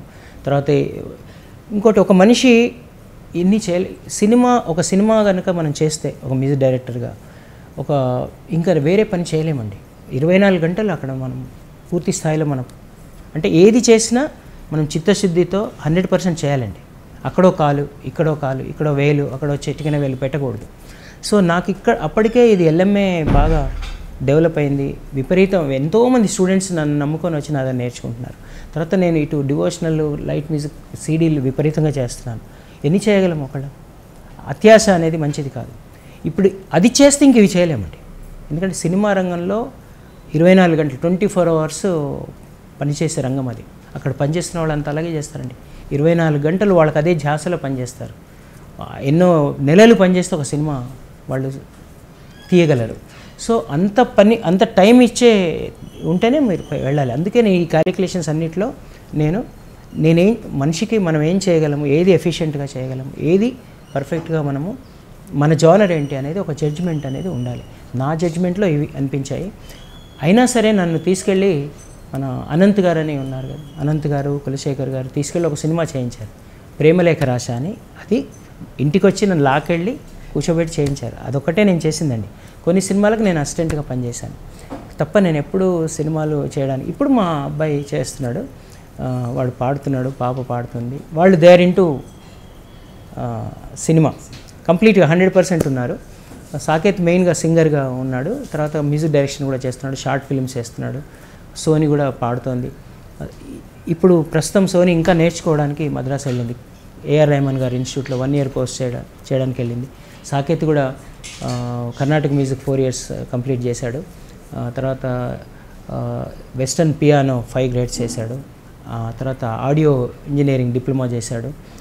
ప్రోగ్రామింగ్ నేర్చుకుంటున్నాడు. నేర్చుకుంటూనే వాళ్ళు పాడుతున్నారు. సో మా తమ్ముడు లక్ష్మణాచారి కూడా పాటలు పాడతాడు పాటలు రాస్తాడు. తను గవర్నమెంట్ స్కూల్లో పనిచేస్తున్నాడు కానుకుంటాను మెదక్ జిల్లాలో. సో గవర్నమెంట్ ప్రోగ్రామ్స్ వాటి వా విద్య ఎడ్యుకేషన్ మీద ఆయన పాటలు రాసి చాలామందిని మోటివేట్ చేసి పాడుతుంటాడు. సో మా రికార్డింగ్స్లో కూడా పాడుతుంటాడు ప్రోగ్రామ్స్లో కూడా పాడుతుంటాడు. ఇది మా కుటుంబ నేపథ్యం. తర్వాత మా మిస్సెస్ లెక్చరరు సుజాత. తర్వాత మా మిస్సెస్ వాళ్ళ బ్రదర్ కూడా పాడతాడు కామేష్. తర్వాత వాళ్ళ చెల్లెలు శ్రీదేవి అని ఇప్పుడు యూఎస్లో ఉంటుంది. తను మంచి సింగరు. వాళ్ళ అబ్బాయి కూడా ఇప్పుడు మంచి క్లాసికల్ సింగర్ శశాంక. ఇలా మా ఫ్యామిలీ అందరూ మ్యూజిక్లోనే ఉంటాము. సో మా అమ్మగారు పాడతారు కొంత కొంత. మా అత్తగారు కూడా పాడతారు. సో ఇలా ఇంట్లో కూడా అంతా మ్యూజిక్ ఉంటుంది. స్టూడియోలో క్లాసులో ఎక్కడ పోయినా ఈ మ్యూజిక్ అనే వనంలోనే ఆడుకుంటూ ఉంటాం మేము. సో ఫాల్స్ ప్రెస్టేజ్ గురించి ఇందాక మనం మాట్లాడాం. ఇప్పుడున్న సింగర్స్ చాలామంది దాంతోనే ఉన్నారు అన్నది కొంతమంది అభిప్రాయం. ఎందుకంటే మీరు ఒక మాట చెప్తూ ఉంటారు. ఒక వ్యక్తి పాట పాడి అది పాట బయటకు వచ్చిందంటే దాంట్లో ఒక మ్యూజిక్ డైరెక్టర్ ఒక లిరిసిస్ట్ ఒక సింగర్ అవును. వెనకాల టెక్నీషియన్స్ వీటి ఇంపార్టెన్స్ గురించి మీరు పదే పదే చెప్తుంటారు. నేను చెప్పింది మీరు విన్నట్టున్నారు. సో అది చాలామంది ఇప్పుడున్న జనరేషన్ వాళ్ళు నిజంగా అవన్నీ ఆలోచిస్తున్నారంటారా? ఇప్పుడు నేను అనేది అహంకారం అండి. ఎప్పుడు ఎక్కడ నేను కాదండి. మనిషి ఎప్పుడు నేను అనేది ఉండదండి. మనంలో ఉంటుంది. దానికి ఇప్పుడు మనం పుట్టినప్పుడే ఇప్పుడు మనం పుట్టినప్పుడు ఒక హాస్పిటల్లో పుడుతున్నారు పిల్లలు. పుట్టినప్పుడే ఇతరులు మనకు హెల్ప్ చేస్తున్నారు. ఫస్ట్ మనం పుట్టంగానే మనకు అమ్మ కడుపులోంచి పిల్లనే ఒక నర్సు బయటకు తీస్తుంది. ఒక డాక్టర్ దగ్గరుండి మనకు మనం పుట్టడం పుట్టడమే ఒక నలుగురు ఇతరులే హెల్ప్ హెల్ప్ చేస్తున్నారు మనకి. అక్కడ ఒక ఆయా ఒక నర్సు ఒక డాక్టర్ ఒక క్రూ ఉంటుంది. వాళ్ళు మనకి ఫస్ట్ మనల్ని కడుపులోంచి తీసి ఫస్ట్ మనల్ని శుభ్రం చేసి మన మన వాళ్ళ చేతిలో పెట్టేది వాళ్ళే. తర్వాత మనం పోయినప్పుడు కూడా మనం చివరిదాకా కాల్చేవాడు వేరేవాడే ఇలా ఈ పుట్టుక చ- పోయే మధ్యలో ఎంతోమంది మనకి హెల్ప్ చేస్తే ఈ స్థితిలో ఉండమండి మనం. చాలామంది మనకు చేస్తుంటారు. అలాగే మనం ఒక గాయకుడు నా పాట అనకూడదు. ఆ- పాటలో ఎంతమంది ఉంటారండి ఒక పాటలో? ఒక రచయిత ఉంటాడు. ఒక సంగీత దర్శకుడు ఉంటాడు ఆర్కెస్ట్రా ఉంటుంది టెక్నీషియన్స్ ఉంటారు రికార్డ్ చేసే టెక్నీషియన్స్. కోరస్ వాళ్ళు. ఉంటారు. తర్వాత దాన్ని చిత్రీకరించే డైరెక్టర్ ఉంటాడు దాన్ని ప్రొడ్యూస్ చేసే ప్రొడ్యూసర్ ఉంటాడు. మళ్ళా అక్కడ క్రూ ఉంటుంది. సో ఒక పాట మనం స్క్రీన్ మీద చూసే ఒక పాట హిట్ అవుతుందంటే ఎంతమంది పని ఒక లైట్ బాయ్ ఒక టీ టీ ఇచ్చే అబ్బాయి దగ్గర నుంచి అంతమంది రాత్రింబగళ్ళు కష్టపడితే తీసిన దృశ్య కావ్యం అది. అంతమంది కష్టంతో మనం తీసిన ఒక పాట అది. ఎవరు కూడా నా పాట అన్నది మా పాట అని చెప్పాలి. అది నేను పిల్లలకు చెప్తాను. మనం అందరం కష్టపడి ఒకటి తయారు చేసాం నువ్వు కష్టపడలేదు అక్కడ. నువ్వు ఒక భాగం అందులో. ఈ అహంకారం మనిషికి ఉండకూడదు. నాది నేను మా పాప పాడింది మా బాబు పాడాడు. మీ పాప ఒక భాగం అందులో. వాయిస్ ఓకల్ ఈజ్ ఒక పార్ట్ ఆఫ్ దట్ కాకపోతే మనం ప్రత్యక్షంగా కనిపిస్తాం కాబట్టి ఎక్కువ మంది గుర్తుపడతారు. వెనకాల వైలిన్ వాయించిన వాళ్ళని ఎవరు గుర్తుపట్టారు? ఒక గజ్జలు వాయించిన వాళ్ళని ఎవరు గుర్తు బట్ ఆ వైలిన్ గజ్జలు తీసేసి ఆ పాట వినండి. బోడిగా ఉంటుంది. సో ఇది ఈ ఈ సత్యం పిల్లల్లో ఉంటే వాళ్ళందరినీ గౌరవిస్తారు. అక్కడ అంటే ఇప్పుడు మనం స్టూడియోకి వెళ్ళినప్పుడు స్టేజ్ మీద పాడుతున్నప్పుడు అక్కడ ఉన్న క్రూ అందరినీ గౌరవించాలి. మనం అందరం కలిసి కదా ఇది చేస్తున్నాం. ప్రత్యక్షంగా మాకు ఇంత పేరు వస్తుందంటే ఈ ఇంతమంది నాకు ఇలా సపోర్ట్ సపోర్ట్ సిస్టమ్ అది. ఇంతమంది సపోర్ట్ సిస్టంలో ఒక సింగర్ పేరు వస్తుంది. ఒక హీరోకి పేరు వస్తుంది. ఒక హీరోయిన్ పేరు వస్తుంది. ఎంతమంది సపోర్ట్ సిస్టంలో వస్తుంది అది. సో అది తెలుసుకుంటారు. ఇప్పుడు ఇప్పుడున్న వాళ్ళు కూడా నిజంగా అండి. ఇప్పుడున్న కొత్త పిల్లల హీరోలు కానీ హీరోయిన్ వాళ్ళు ఎంత మెచ్యూరిటీతో ఉన్నారు. చాలామంది కూడా చాలాసార్లు ఉటంకిస్తారు. సో అలా ఉన్న వాళ్ళే పైకి వస్తారండి. అది నేను వాళ్ళకి నేను పిల్లలకు నేర్పిస్తుంటాను. సో నేను నాది అహంకారం ఎప్పుడు పనికిరాదు. So you should be thankful to so many people who help you in your అంటే మొత్తం లైఫ్ టైంలో. ఇప్పుడు ఫర్ ఎగ్జాంపుల్ మీ కొంతమంది అండి. నూటికి తొంభై మంది చాలా ప్రాపర్గా ఉంటారండి. లేకపోతే ఈ ప్రపంచం ఇలా నడవదు. కొంతమంది ఏంటంటే పాపం కొన్ని మాయలు కమ్ముతాయి. ఇప్పుడు సపోజ్ ఎగ్జాంపుల్ అండి మా పిల్లలకు ఒకటే చెప్తాను. ఇప్పుడు సరళీశ్వరాల దగ్గర నుంచి నేర్పిస్తారు కొంతమంది. నాలుగైదేళ్ళు నేర్పించి బేసిక్స్ ఆ బేసిక్స్ని స్ట్రాంగ్ చేసిన టీచర్ ఉంటారు. తర్వాత ఎవరో పేరున్న వాళ్ళ దగ్గరికి వెళ్ళి షిఫ్ట్ అవుతారు నేర్చుకోవడానికి. తర్వాత వాళ్ళు మీరు ఎక్కడ నేర్చుకుంటున్నారంటే ఆ పేరున్న వాళ్ళ పేరు ఒకటే చెప్తారు. నేనేం చెప్తానంటే వాళ్ళకంటే గొప్ప టీచర్ వీళ్ళే. అంటే మీకు ఒక- ఒక స్థాయికి వచ్చాక ఇప్పుడు మనం ఒక డిగ్రీ స్టేజ్కి వచ్చి పీజీ స్టేజ్కి వచ్చాక మనమే చదువుకొని పాస్ అవుతాం. మనకి ఎక్కువ టీచింగ్ ఉండదు చూసారా మీరు? ఎల్కేజీ యూకేజీ ప్రైమరీలో ఉన్నంత పట్టించుకొని ఇట్లా చేతులు పట్టుకొని టీచింగ్ చేయరండి. రీడర్స్ వచ్చి మనం గైడ్ చేస్తారు వాళ్ళు. టీచింగ్ కాస్త గైడ్ కింద మారిపోతుంది. ఇప్పుడు వీళ్ళేమో పట్టుకొని దిద్దిస్తారు అక్షరాలు. సో అందరికంటే గొప్ప టీచర్స్ ఎవరంటే ఎల్కేజీ నర్సరీ ఎల్కేజీ ప్రైమరీలో ఉంటారే వాళ్ళందరికంటే వాళ్ళని ఎప్పుడు మర్చిపోవద్దు. వాళ్ళే మనకు ఫౌండేషన్ ఇచ్చింది. ఆ- రూట్స్లో బలం ఉన్నంత వరకే మనం ఉంటాం. రూట్స్ కట్ చేస్తే ఏమవుతుందండి? ఆ రూట్స్ని ఎవరైతే పెంచి పెద్ద చేశారో వాళ్ళే గొప్ప టీచర్స్. అలాగే సంగీతంలో కూడా సరళీ స్వరాల దగ్గర నుంచి బేసిక్స్ ఎవరు నేర్పించారో వాళ్ళ పేరు ఫస్ట్ రాయాలి. దాని తర్వాత ఎంత ఫేమస్ వాళ్ళు నేర్పించినా సరే నెక్స్ట్ డే రాయాలి. ఇది సంస్కారం. తల్లి తండ్రి గురువుల పేర్లు. మీ బయోడేటాలో ఫస్ట్ ఈ పేర్లు ఉండాలి. తల్లి తండ్రి గురువులు. గురువుల్లో కూడా ఆ ప్రయారిటీలో ఉండాలి. ఫస్ట్ నేర్పించిన బేసిక్స్ నేర్పించిన వాళ్ళే గొప్పవాళ్ళు. సో మీరు మీ మీ స్కూల్కి వెళ్ళి ఫస్ట్ మీ నర్సరీ సెక్షన్కి వెళ్ళండి. ఎల్కేజీ యూకేజీ సెక్షన్కి వెళ్ళి మీకు చిన్నప్పుడు మీరు పాస్ పోసిన కక్కిన మిమ్మల్ని శుభ్రం చేసిన ఆయాల్ని కలవండి. అక్కడ చేతులు పట్టుకొని ఏ అని దిద్దించిన టీచర్స్ని కలవండి అని చెప్తాను పిల్లలకి. ఇప్పుడు ఏంటంటే కొంతమందికి మాయ ఎలా కమ్ముతుందంటే ఎవరు ఫేమసో వాళ్ళ చుట్టూ చేరుతుంటారు. ఎవరు ఫేమసో వాళ్ళని ఇప్పుడు ఎవరో ఎవరో పెద్ద పెద్ద మ్యూజిక్ డైరెక్టర్ రెండు పాటలు పాడి ఆయన గురువు గారు అంటారు. అర్థం లేకుండా పోయింది. గురువు అనే పదానికి కానీ దేనికైనా ఇప్పుడు తల్లి తల్లే అండి. తల్లి తల్లే తండ్రి తండ్రి అన్న అన్నే తమ్ముడు తమ్ముడే ఇంకొకడు అన్న లాంటి వాడు కావచ్చు. కానీ అన్న అన్నే తల్లి లాంటి ఇంకొకళ్ళు తల్లి లాంటి వాళ్ళు కావచ్చు. నాకు ఇంకొకళ్ళు బిడ్డ లాంటి వాళ్ళు కావచ్చు. తల్లి లాంటి వాళ్ళు కావచ్చు. కానీ తల్లి తల్లే. గురువు ఎవరైతే గురుముఖత నేర్చుకొని కూర్చొని గురుముఖత నేర్చుకున్నో వాళ్ళే గురువు. నీకు చదువు సంస్కారం ఎవరైతే నేర్పిస్తారో వాళ్ళు గురువులు. ప్రతి వాళ్ళని గురువు అంటే దానికి డైల్యూట్ దాని అర్థంకి విలువ లేకుండా పోతుంది. సో ఇవి నేను చెప్తానన్నమాట. పిల్లలకు కానీ పేరెంట్స్ కానీ మోస్ట్లీ అందరూ పాటిస్తారండి. కొంతమందికి చిన్న మాయలు కమ్ముతాయి కదా. కమ్మి కొంతమంది కొంత వెంటనే గుర్తిస్తారు మళ్ళీ దారికి వస్తారు. కొంతమంది గుర్తించరు పాపం వాళ్ళు. దాని ఫలితాన్ని అనుభవిస్తారు. కానీ మోస్ట్లీ నా స్టూడెంట్స్ వాళ్ళ పేరెంట్స్ అందరూ కూడా దేవుడి దేవలో మంచి సంస్కారంగా ఉంటున్నారండి. I'm very happy with them ఇదే విషయం వచ్చింది కాబట్టి మీకు దీపుకి గురు గురు శిష్యులు అవార్డు ఇచ్చారు రాక్వెల్ స్కూల్లో. అవునండి. అవును సో అప్పుడు మీ అనుభూతి ఎలా ఉంది? ఒక గురువుగా ఈ రోజుల్లో ఎవరు ఎవరు సెలబ్రిటీస్ అయితే వాళ్ళని మాత్రమే గుర్తించే రోజుల్లో వాళ్ళ గురువుని కూడా గుర్తుపెట్టుకునే ఆ స్కూల్ వాళ్ళు మీకు అది వాళ్ళ సంస్కారం అండి. వాళ్ళ ఆ స్కూల్ సంస్కారం అది. ఆ స్కూల్లో నిర్వాహకులకి నేను వాళ్ళకి ఆ క్రెడిట్ ఇస్తాను. ఎందుకంటే మీకు చూడండి యూరోపియన్ కంట్రీస్లో అక్కడ ఇక్కడ ఒక ఫుట్బాల్ స్టార్ ఒక సాకర్ స్టార్ని ఫెలిసిటేట్ చేసేటప్పుడు చూసారా మీరు? ఫస్ట్ వాళ్ళ గురువుకి చేస్తారు. ఫస్ట్ వాళ్ళ గురువు గారు ముందర నడుస్తుంటే ఆ స్టార్ ఆ గురువుగారిని వెంట పెట్టుకొని వస్తారు పైకి. వచ్చి ఫస్ట్ గురువు గారిని కూర్చోబెట్టి ఫెలిసిటేట్ చేస్తారు. ఆ స్టార్ ఇలా నిలబడతాడు ఆయనకాల. దాని తర్వాత గురువు గారి తర్వాత మళ్ళీ ఆ స్టార్కి చేసి ఆ కా- ఆయనకి ఏం అవార్డు ఇవ్వాలో అది ఇస్తారు. ఈ సంస్కారము మనం మన ఇక్కడ ఇప్పుడంటే నేనంటే నేను ఒక గురువుగానే రాలేదు కాబట్టి నాకు నన్ను గుర్తుపడతారండి అందరూ. ఇప్పుడు నేను ఒక నేను ఒక సింగర్గా వచ్చాను ఒక రియాలిటీ షోలో వచ్చాను నేను ఎన్నో వేదికల మీద పాడతాను. నేను రకరకాల మ్యూజిక్ డైరెక్టర్ నాకు రకరకాల పాత్రల్లో నేను ఉన్నాను కాబట్టి రామాచార్యాన్ని నన్ను ఎక్కడికి వెళ్ళినా గుర్తుపడతారు. కానీ ఎంతమంది గురువుల్ని గుర్తుపడతాం మనం? ఇప్పుడు మనకు తెలియదండి. చాలామంది గురువులు ప్రపంచానికి తెలియని వాళ్ళు ఉంటారు. నేనేమంటానంటే ఏ ఎవరికైనా మీరు ఒక స్టార్కి మీరు ఏ అవార్డు ఇచ్చినా సన్మానం చేసినా యూ షుడ్ రికగ్నైజ్ హిస్ గు పేరెంట్స్ అండ్ గురువు. ఎందుకంటే మంచి పేరెంట్స్ మంచి గురువులు ఉంటేనే మనం మన జీవితంలో ఒక ప్లేస్కి వస్తామండి. మీరు చూడండి మన ప్రపంచ తెలుగు మహాసభలు అయినప్పుడు మన మాన్య ముఖ్యమంత్రి వర్యులు కేసీఆర్ గారు ఫస్ట్ వాళ్ళ గురువు గారికి పూజ చేశారు. తర్వాత వాళ్ళ గురువుగారు చిన్నప్పుడు నేర్పించిన పద్యాలు చదివి వినిపించారు. ఆయన ఏం సంస్కారం నేర్పించారో ప్రజలకందరికీ వినిపించారు. ఎంతోమందికి స్ఫూర్తిదాయకంగా ఆయన వ్యవహరించారు. అది అందుకే వాళ్ళు గొప్పవాళ్ళు అవుతారండి. ఒక సచిన్ టెండూల్కర్ ఉన్నాడు.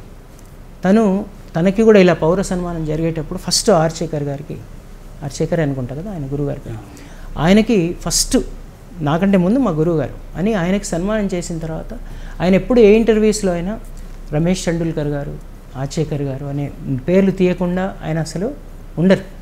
సో ఇది నేర్పించాలండి. ఇప్పుడు ఇక్కడున్న కళా సంస్థలు కానీ అవార్డ్స్ ఇచ్చేవాళ్ళు కానీ ఎవరు కానీ గురువులు మాత్రం విస్మరిస్తున్నారండి. ఓన్లీ ఎవరు లైమ్ లైట్లో ఉంటారో వాళ్ళని మాత్రమే తీసుకెళ్ళి ఒక్కొక్కసారి కొంతమంది తెలియని గురువులు అక్కడ ఉన్న పక్కకు తోసేసిన సందర్భాలు కూడా ఉంటాయండి. సో అది పోవాలండి. అది నేను రెండు చేతులు ఎత్తి అందరికీ నేను వినమ్రంగా నేను మనవి చేసుకునేది ఏంటంటే ఈ ఛానల్స్ కానీ కళా సంస్థలు కానీ అవార్డ్స్ ఇచ్చేవాళ్ళు కానీ ఎవరైనా కానీ ఇప్పుడు అదే స్పోర్ట్స్లో చూడండి ద్రోణాచార్య అవార్డు అని ఉంది. అదే మనకు సింగింగ్లో లేదు. ఇంకా అన్ని అన్నిటికంటే అధ్వానం సింగింగే అండి. ఇంకా నాట్యంలో అయినా ఒక నాట్య ప్రదర్శన అవుతున్నప్పుడు వాళ్ళ గురువుగారి ఫోటో కూడా వేస్తారు. గురువు ఏ గురువు దగ్గర నేర్చుకు ఫస్ట్ ఇట్లా తీయంగానే గురు ఆ పరంపర గురువు ఏ గురువు గారి దగ్గర నేర్చుకున్నారో ఆ ఫోటో ఇవన్నీ ఉంటాయి. తర్వాత గురువుగారికి సన్మానం ఉంటుంది అక్కడ పాదపూజ చేస్తారు. ఇది మా సింగింగ్లో ఇంకా లేదండి. అసలు ఇది చాలామంది గురువులు ఒక రకంగా వాళ్ళు డిస్కరేజ్మెంట్లో ఉంటారండి. నేను చాలామందితో మాట్లాడుతుంటాను. మనకేముంటుంది సార్? ఏముండదు. మనం ఎంత నేర్పిస్తాము మనకు అసలు కొన్ని చోట్ల బయోడేటాలో కూడా మన పేరు ఉండదు మన పేరు కూడా చెప్పరు కొన్ని కొంతమంది. కొంతమంది ఏం చేస్తారంటే మా పేరు చెప్పిన అది ఎడిట్ చేస్తారు. సో ఇలా కాకుండా తల్లి తండ్రి గురువు లేకుండా మనం ఎక్కడున్నామండి? ఎవరైనా ఏ స్థానంలో ఉన్న వాళ్ళైనా ఈ దేశానికి ప్రధానమంత్రి గారైనా ఏదైనా సరే అది అవడానికి కారణం ఎవరండి? ముగ్గురే అండి. తల్లి తండ్రి గురువులండి. ఈ ముగ్గురు లేకుండా మనం అసలే విద్య లేనివాడు వింత పశువు అనే ఒక సామెత కూడా ఉంది కదా. ఇది మన శరీరానికి రక్షణ ఇచ్చేవాళ్ళు తల్లిదండ్రులు పోషించే వాళ్ళైతే మనం మన తెలివిని మనం మన అంధకారాన్ని తొలగించి అజ్ఞానం అనే అంధకారం తొలగించి వెలుగులోకి తీసుకెళ్ళేవాళ్ళు గురువులు. నా గురువు అయినా మీ గురువు అయినా ఎవరి గురువు అయినా గురువులు గురువులేని అందుకే నేనేం చేస్తానంటే మా పిల్లలకి చూపిస్తాను. మా గురువుగారి ప్రతి పుట్టినరోజు నేనే చేస్తాను. మా సాయిబాబా గారిది. మా లీలా లీలావతి గారు ఆవిడ ఒప్పుకోరు. లేకపోతే ఆవిడ కూడా చేశాను ఆవిడ పుట్టినరోజు అని జరుపుకోరు. సో అందులో మా కుటుంబ సభ్యురాలు అయిపోయింది ఆవిడ. ఆవిడ అక్క కూతురు నేను చేసుకుని నేను లీలక్క అంటాను. కాబట్టి మా కుటుంబంలో భాగం అయిపోయింది ఆవిడ. సో అట్లా ప్రతి వాళ్ళు కూడా ఈ విలువల్ని గుర్తించే పనులు చేయాలండి. చాలా మంది గురువుగా గురువుల్ని తీసుకొచ్చి వాళ్ళకి సన్మానాలు చేయాలండి. తర్వాత వాళ్ళకి అవార్డ్స్లలో కూడా ఏదైనా సరే ఏ ఏ అవార్డ్స్లో అయినా సరే గురువులకు ఒక అవార్డు ఉండాలండి. మన స్పోర్ట్స్లో ద్రోణాచార్య అవార్డు ఎట్లయితే ఉంటుందో ఈ మన సినీ రంగంలో కానీ మన కల్చరల్ రంగంలో కానీ గురువులకు కూడా ఉండాలండి. ఉంటే ఏమవుతుందంటే ఇది నా కోసం చెప్పట్లేదండి. నాకు ఆల్రెడీ చాలా అవార్డ్స్ వచ్చాయి. నాకు నంది అవార్డు వచ్చింది. తెలంగాణ రాష్ట్ర గో ప్రభుత్వ అవార్డు వచ్చింది నాకు. తర్వాత తానా ప్రెసిడెన్షియల్ అవార్డు వచ్చింది వంశీ ఇంటర్నేషనల్ అవార్డు వచ్చింది. పివి నరసింహారావు గారు గోల్డ్ మెడల్ వచ్చింది. Lions club award. ఇలా చాలా అవార్డ్స్ నాకు వచ్చాయండి. నే ఐఎమ్ నాట్ అన్హ్యాపీ అన్నిటికంటే ఎక్కువ ప్రపంచంలో వాళ్ళందరూ కూడా నన్ను ఆదరిస్తారు ఆశీర్వదిస్తారు. అది పెద్ద అవార్డు. తర్వాత పిల్లలందరూ నన్ను చాలా ప్రేమగా చూసుకుంటారు వాళ్ళ పేరెంట్స్ కూడా సో ఇది ఇది నా నాకేం లోపం జరగలేదు. నేను నా గురించి మాట్లాడలేదు మళ్ళీ మళ్ళీ. కానీ చాలామంది గురువులు ఎంతమందికి తెలుసండి? రామాచార్య అనే గురువు తెలుసండి. కానీ ఇంకా ఇంకెంతమంది గురువులు మీకు తెలుసు? మీరు ఇంటర్వ్యూ చేద్దామని లిస్ట్ వేసుకున్న ఎంతమంది గురువుల పేర్లు రాయగలరు మీరు? కరెక్ట్. కానీ చాలామంది గురువులు ఏళ్ళ తరబడి నేర్పిస్తున్నారండి. అందుకే ప్రతి సింగర్ కూడా ఫస్ట్ వాళ్ళ తల్లిదండ్రుల గురువుల పేర్లు చెప్పాలి. తర్వాత ప్రతి వాళ్ళు కూడా ఆ గురువుల్ని పిలిచి వాళ్ళకు ఉచిత రీతిన వాళ్ళని గౌరవించాలి. ఇది జరగాలండి. జరిగినప్పుడు ఏమవుతుందంటే దీని ఫలితం గురువులకు ఉత్సాహం పెరుగుతుంది. ఇంకా వాళ్ళు డెడికేటెడ్గా నేర్పించడానికి ముందుకు వస్తే ఇప్పుడు చాలా నర్వస్లో ఉన్నారు చాలామంది గురువులు. ఏమొస్తుందండి మనకి? మనకు వచ్చే అందుకే ఫీజు తీసుకొని నేర్పించాలి. ఎందుకు నేర్పించొద్దు ఫీజు తీసుకొని? వాళ్ళు అనేది కూడా కరెక్ట్ అండి. వాళ్ళకి ఏమీ రాదు. అందుకే ఫీజు తీసుకొని నేర్పిస్తారు. తప్పకుండా తీసుకోవాలి. వాళ్ళకి అసలు పేరు రాదు ఏమీ రాదు. ఒక అవార్డు ఉండదు ఏమీ ఉండదు. సో ఎప్పుడైతే ఈ సిస్టమ్ మనం మొదలెడతామో గురువులను కూడా ఒక స్టార్తో పాటు గురువుని కూడా గౌరవించే సిస్టమ్ వాళ్ళకు కూడా అవార్డ్స్ ఇచ్చే సిస్టమ్ ఎప్పుడైతే వస్తుందో దట్ అది మంచి పరిణామానికి దారితీస్తుంది ఎందుకంటే చాలామందికి ఇంట్రెస్ట్ పెరుగుతుంది. ఇంకా డెడికేటెడ్గా నేర్పిస్తారు. ఇంకా వాళ్ళకు ఒక ఉత్సాహం. లేకపోతే నిరుత్సాహం కదండి. సో ఇప్పుడు రాబోతున్న సింగింగ్ అంటే ఇంట్రెస్ట్ ఉన్న వాళ్ళకి ఏం చెప్తారు? ఫైనల్గా ఇంట్రెస్ట్ వేరండి. బై బర్త్ ఉండే అంటే మీకు ప్రతి దేవుడు ఎలాంటి వాడంటే ఈ ప్రపంచానికి అన్నీ కావాలి కదండి. ఒకటే కా ఒకటే కాదు కదా. అన్నీ కావాలి. అందుకే అన్ని స్కిల్స్ డిఫరెంట్ డిఫరెంట్ వాళ్ళకి ఇస్తాడు. పంచేస్తాడు. ఒకళ్ళకి పెయింటింగ్ ఇస్తాడు ఒకళ్ళకి డ్యాన్సింగ్ ఇస్తాడు ఒకళ్ళకి మ్యూజిక్ ఇస్తాడు. దేవుడు పంచేస్తాడు ఎవరి కడుపులో ఎవరు పుడతారో తెలియదండి. ఇప్పుడు సింగింగ్ సింగర్ కడుపులో సింగరే పుట్టాలని ఏం లేదండి. ఓ సింగర్ కడుపులో పుట్టినవాడు మంచి డాన్సర్ అవ్వచ్చు లేకపోతే మంచి పెయింటర్ అవ్వచ్చు ఆర్టిస్ట్ అవ్వచ్చు ఒకడు యాక్టర్ అవ్వచ్చు లేకపోతే ఒక షెఫ్ అవ్వచ్చు. చెప్పలేము సో తల్లిదండ్రులకు ముఖ్యంగా నేను సింగర్స్గా తల్లిదండ్రులకు ఏం చెప్తున్నా అంటే వాళ్ళకి బాన్ స్కిల్స్ అని ఉంటాయి. వాళ్ళు పుట్టిన తర్వాత వాళ్ళకి ఏ బాన్ స్కిల్ ఉందో చూడండి. డోంట్ ఇంపోజ్ నువ్వు నేను నేను చిన్నప్పుడు సింగర్ అవ్వాలని కలగన్నాను. నా కళని నేను నీతో తీర్చుకుంటానంటే వాళ్ళకి లేకపోతే గొంతు ఇప్పుడు వజ్రం ఇప్పుడు భూమిలో చాలా రాళ్ళు దొరుకుతాయండి. అందులో వజ్రం రాయి దొరికితేనే ఆ వజ్రంని సానబడితేనే వజ్రం అవుతుంది. బంగారంని ప్రాసెస్ చేస్తేనే బంగారం అవుతుంది. ఇతడిని ఏ ఏది ఉంటే అదే ప్ర- అవుతుంది. రాయిని రాయే. దేని వాల్యూ దానికి ఉంటుందండి అన్నిటికీ వాల్యూ ఉంటుంది. నేను బంగారం ఇనుము అన్ని అన్ని వాల్యుబుల్ అండి. సో దేంట్లో వాళ్ళకి స్కిల్ ఉంది అనేది చూసి ఆ స్కిల్ని మనం సానబట్టాలి.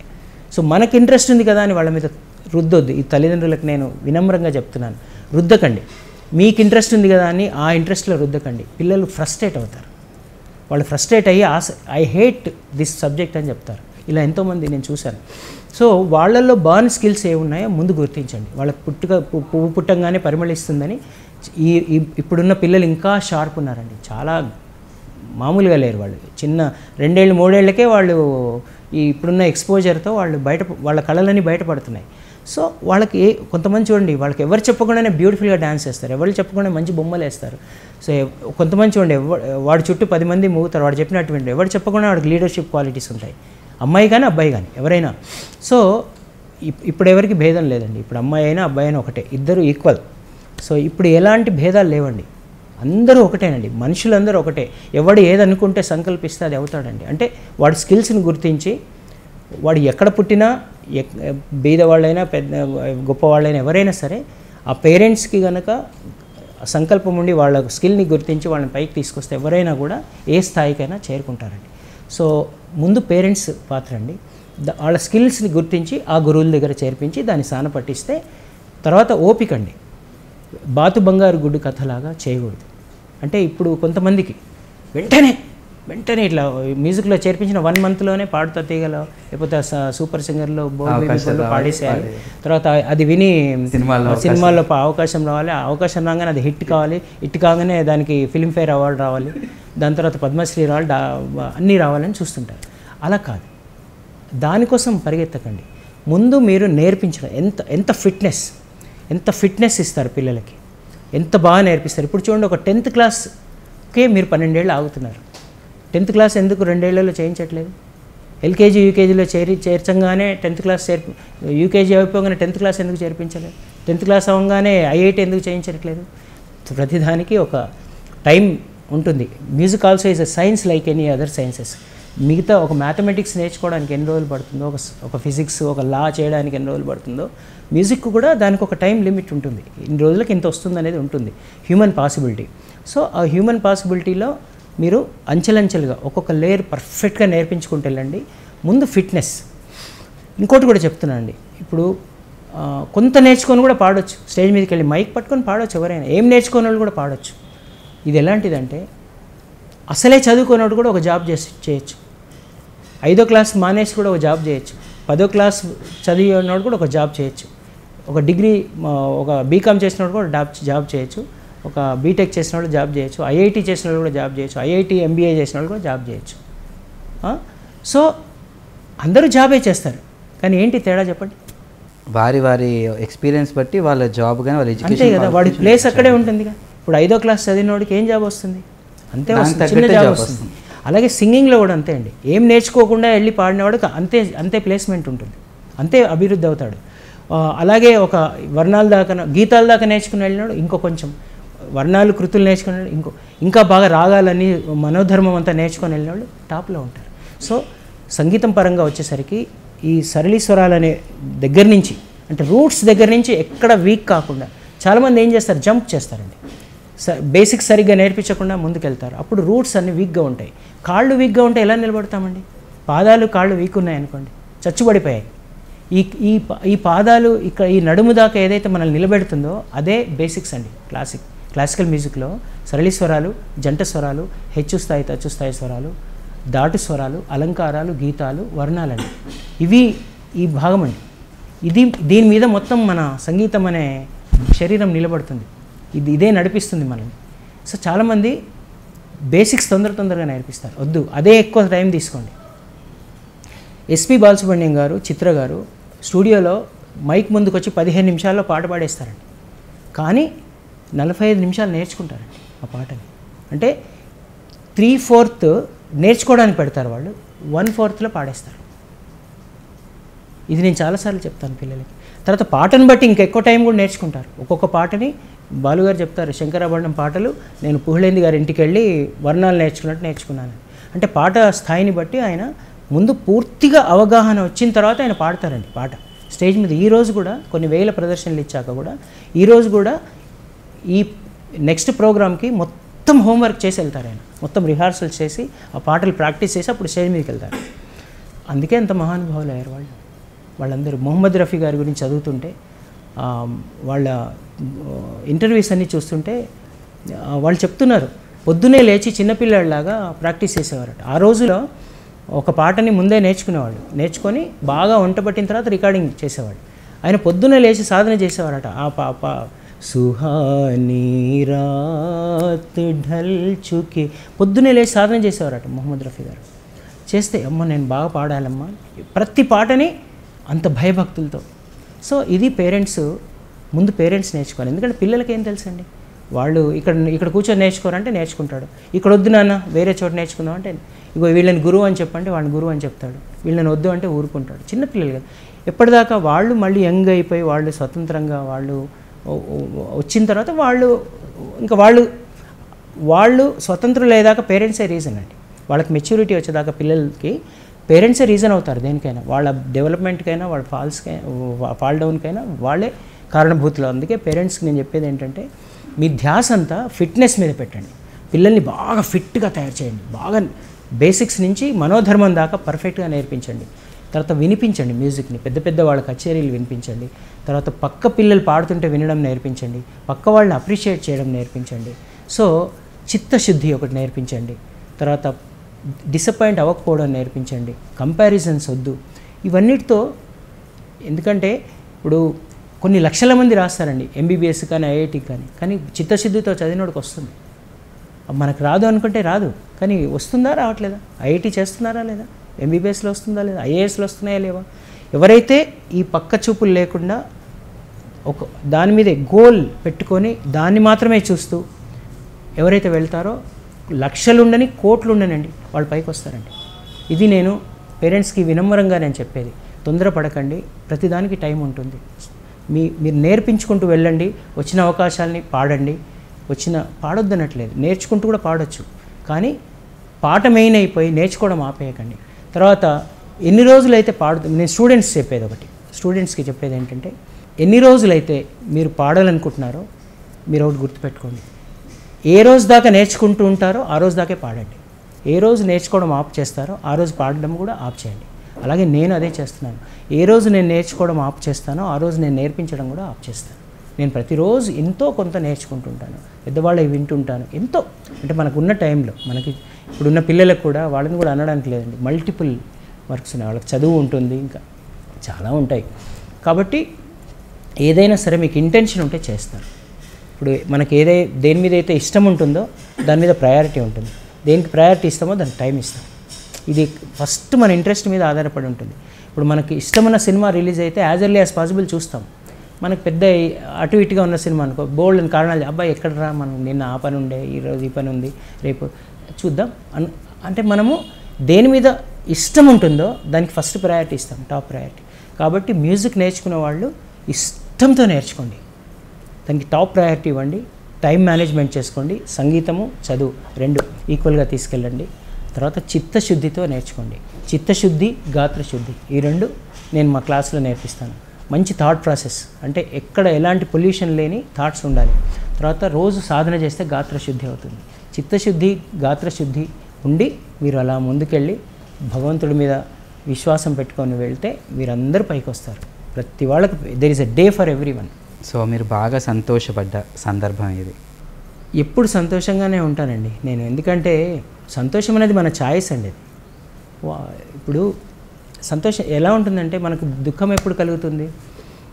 నిన్న మొన్న నాకు జ్వరం వచ్చిందండి. నేను ఎవరైనా ఫోన్ చేస్తే ఏం చేస్తున్నావు అంటే ఐఎమ్ ఎంజాయింగ్ మై ఫీవర్ అని చెప్పాను. సో ఏముందండి అది?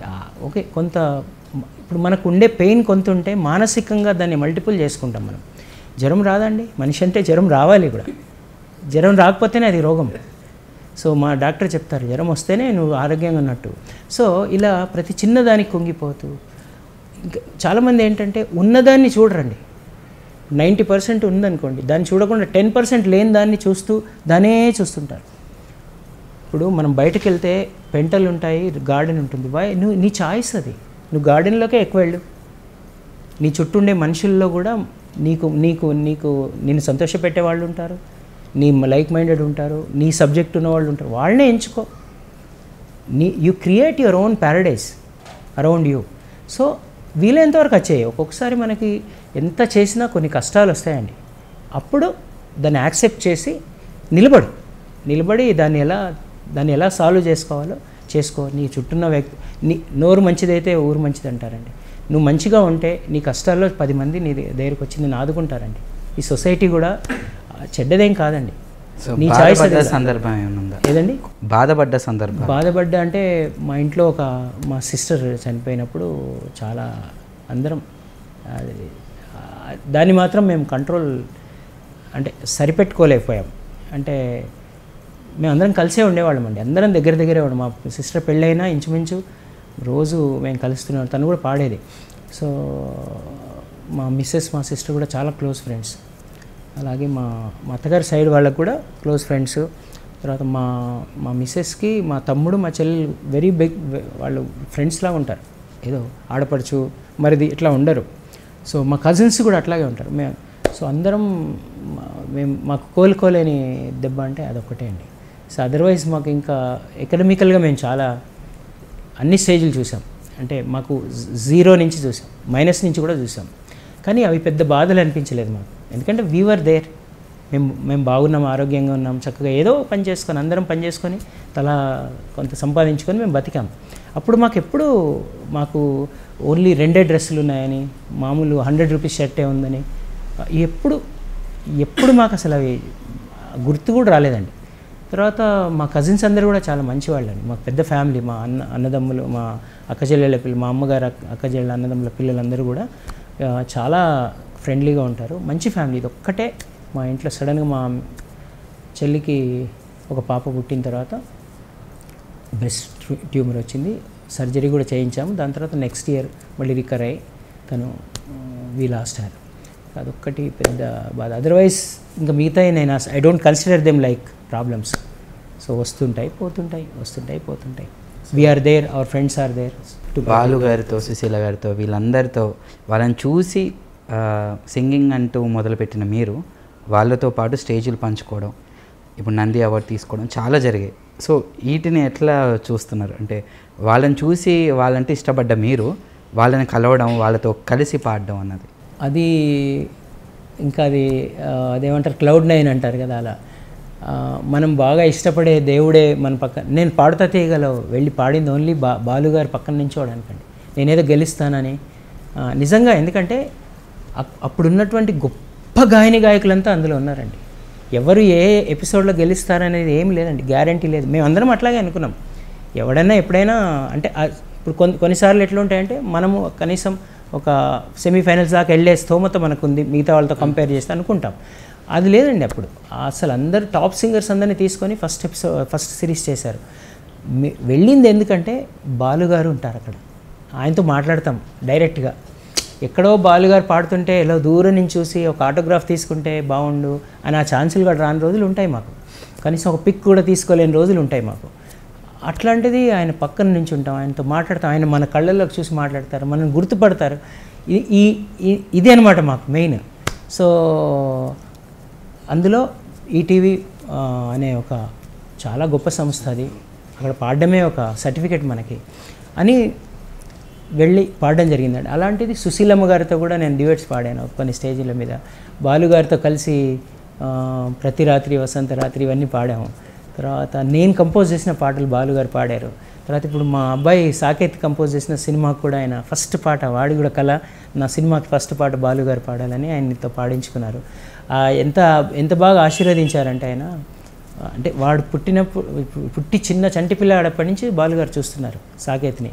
ఇంకా ఎంత ప్రేమ అంటే వాడంటే వాళ్ళ ఇంట్లో వాళ్ళ సొంత చిన్నపిల్లల్ని ఎలా చూసుకుంటారో అలా అంత ప్రేమ అనమాట వాడికి ఎంత ప్రేమగా పాడి వాడిని ఆశీర్వదించి వాడిని ఎంకరేజ్ చేసి ఎంత బాగా చేసేవారా కంపోజింగ్ అని.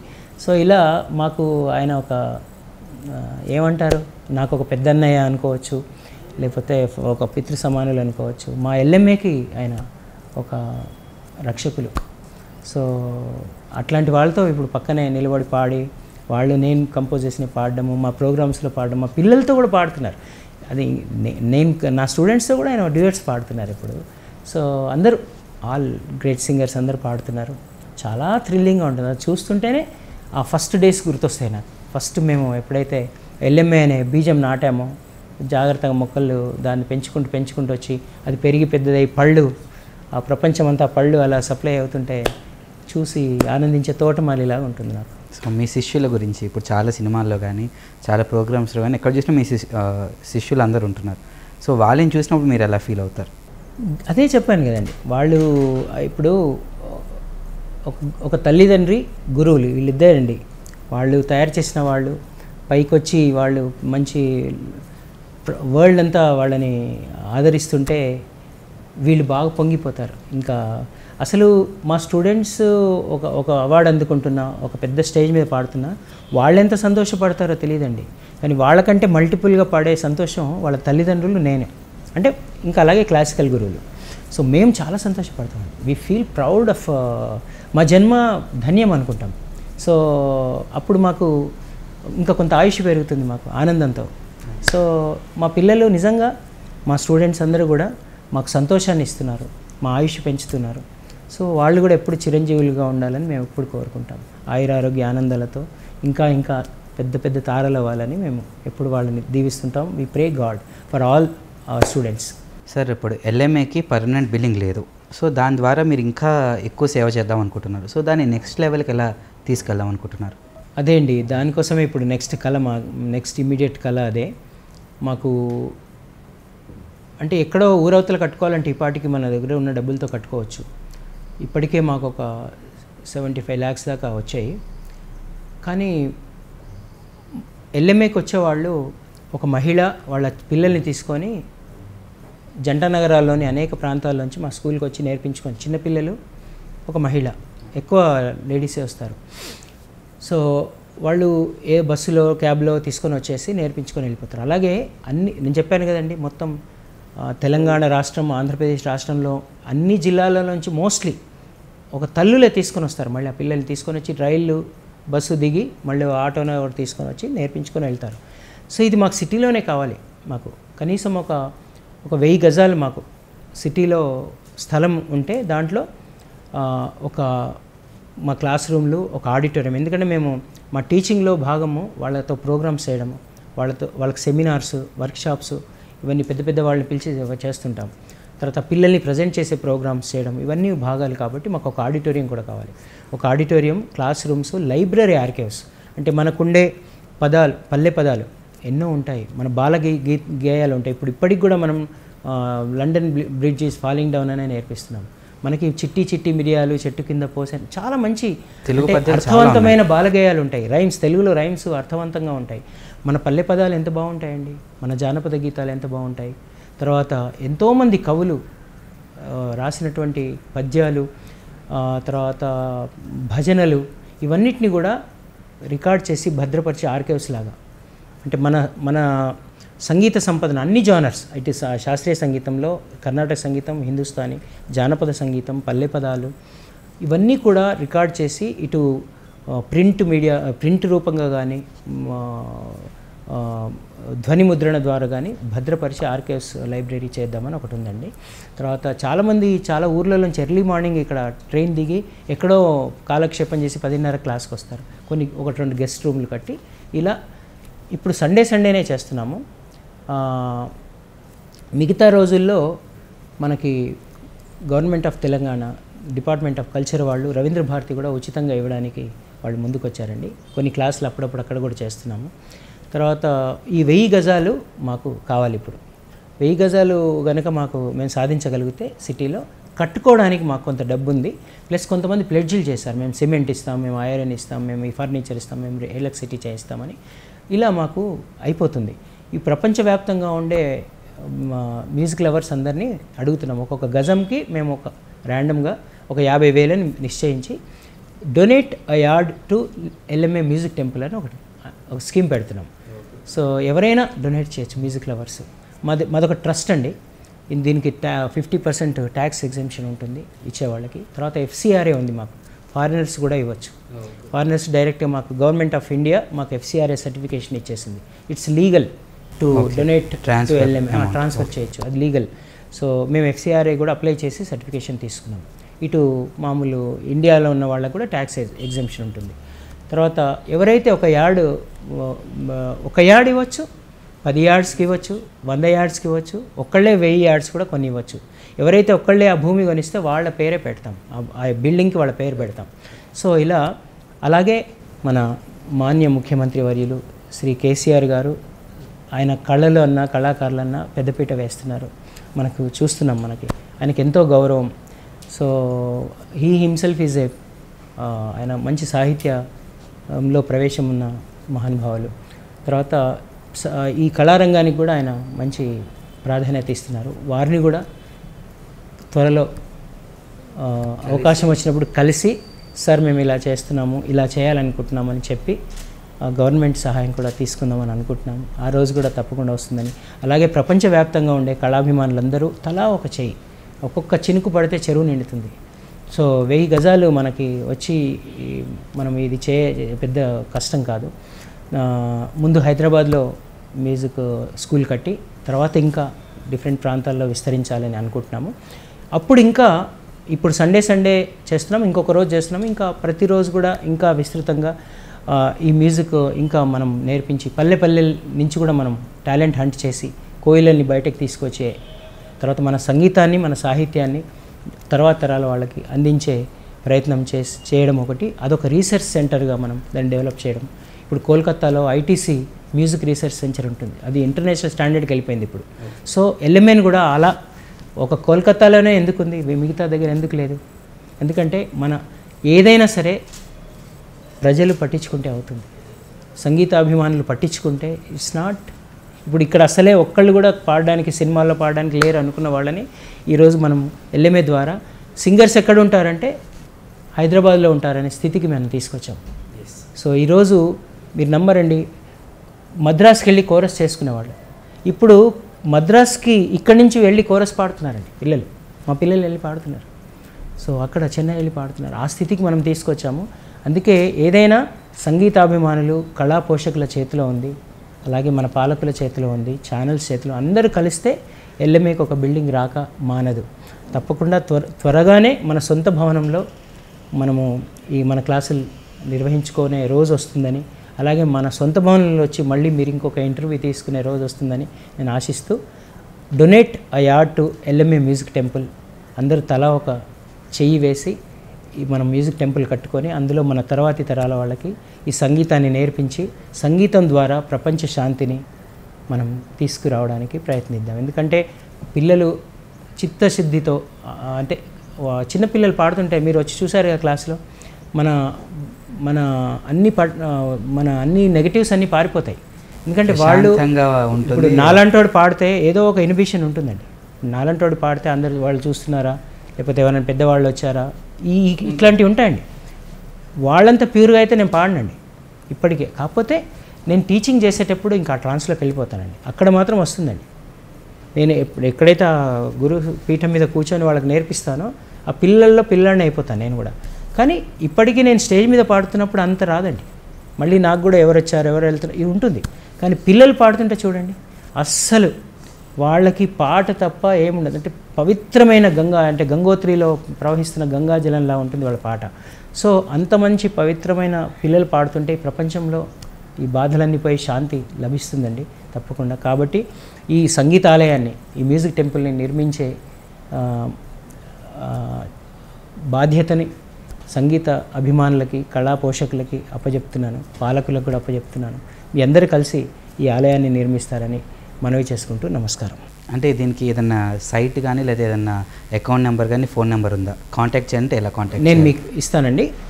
ఇది WWW dot little musicians academy dot com అని ఉంటుంది. WWW dot little musicians academy dot com అందులోకి వెళ్తే మొత్తం మీకు మా ఎల్ఎంఏ ఏం చేసింది? ఎల్ఎంఏలో ఎంతమంది చదువుకున్నారు? ఎంతమంది పైకి వచ్చారు? డొనేషన్ ఇచ్చే వాళ్ళు ఎలా ఇవ్వాలి?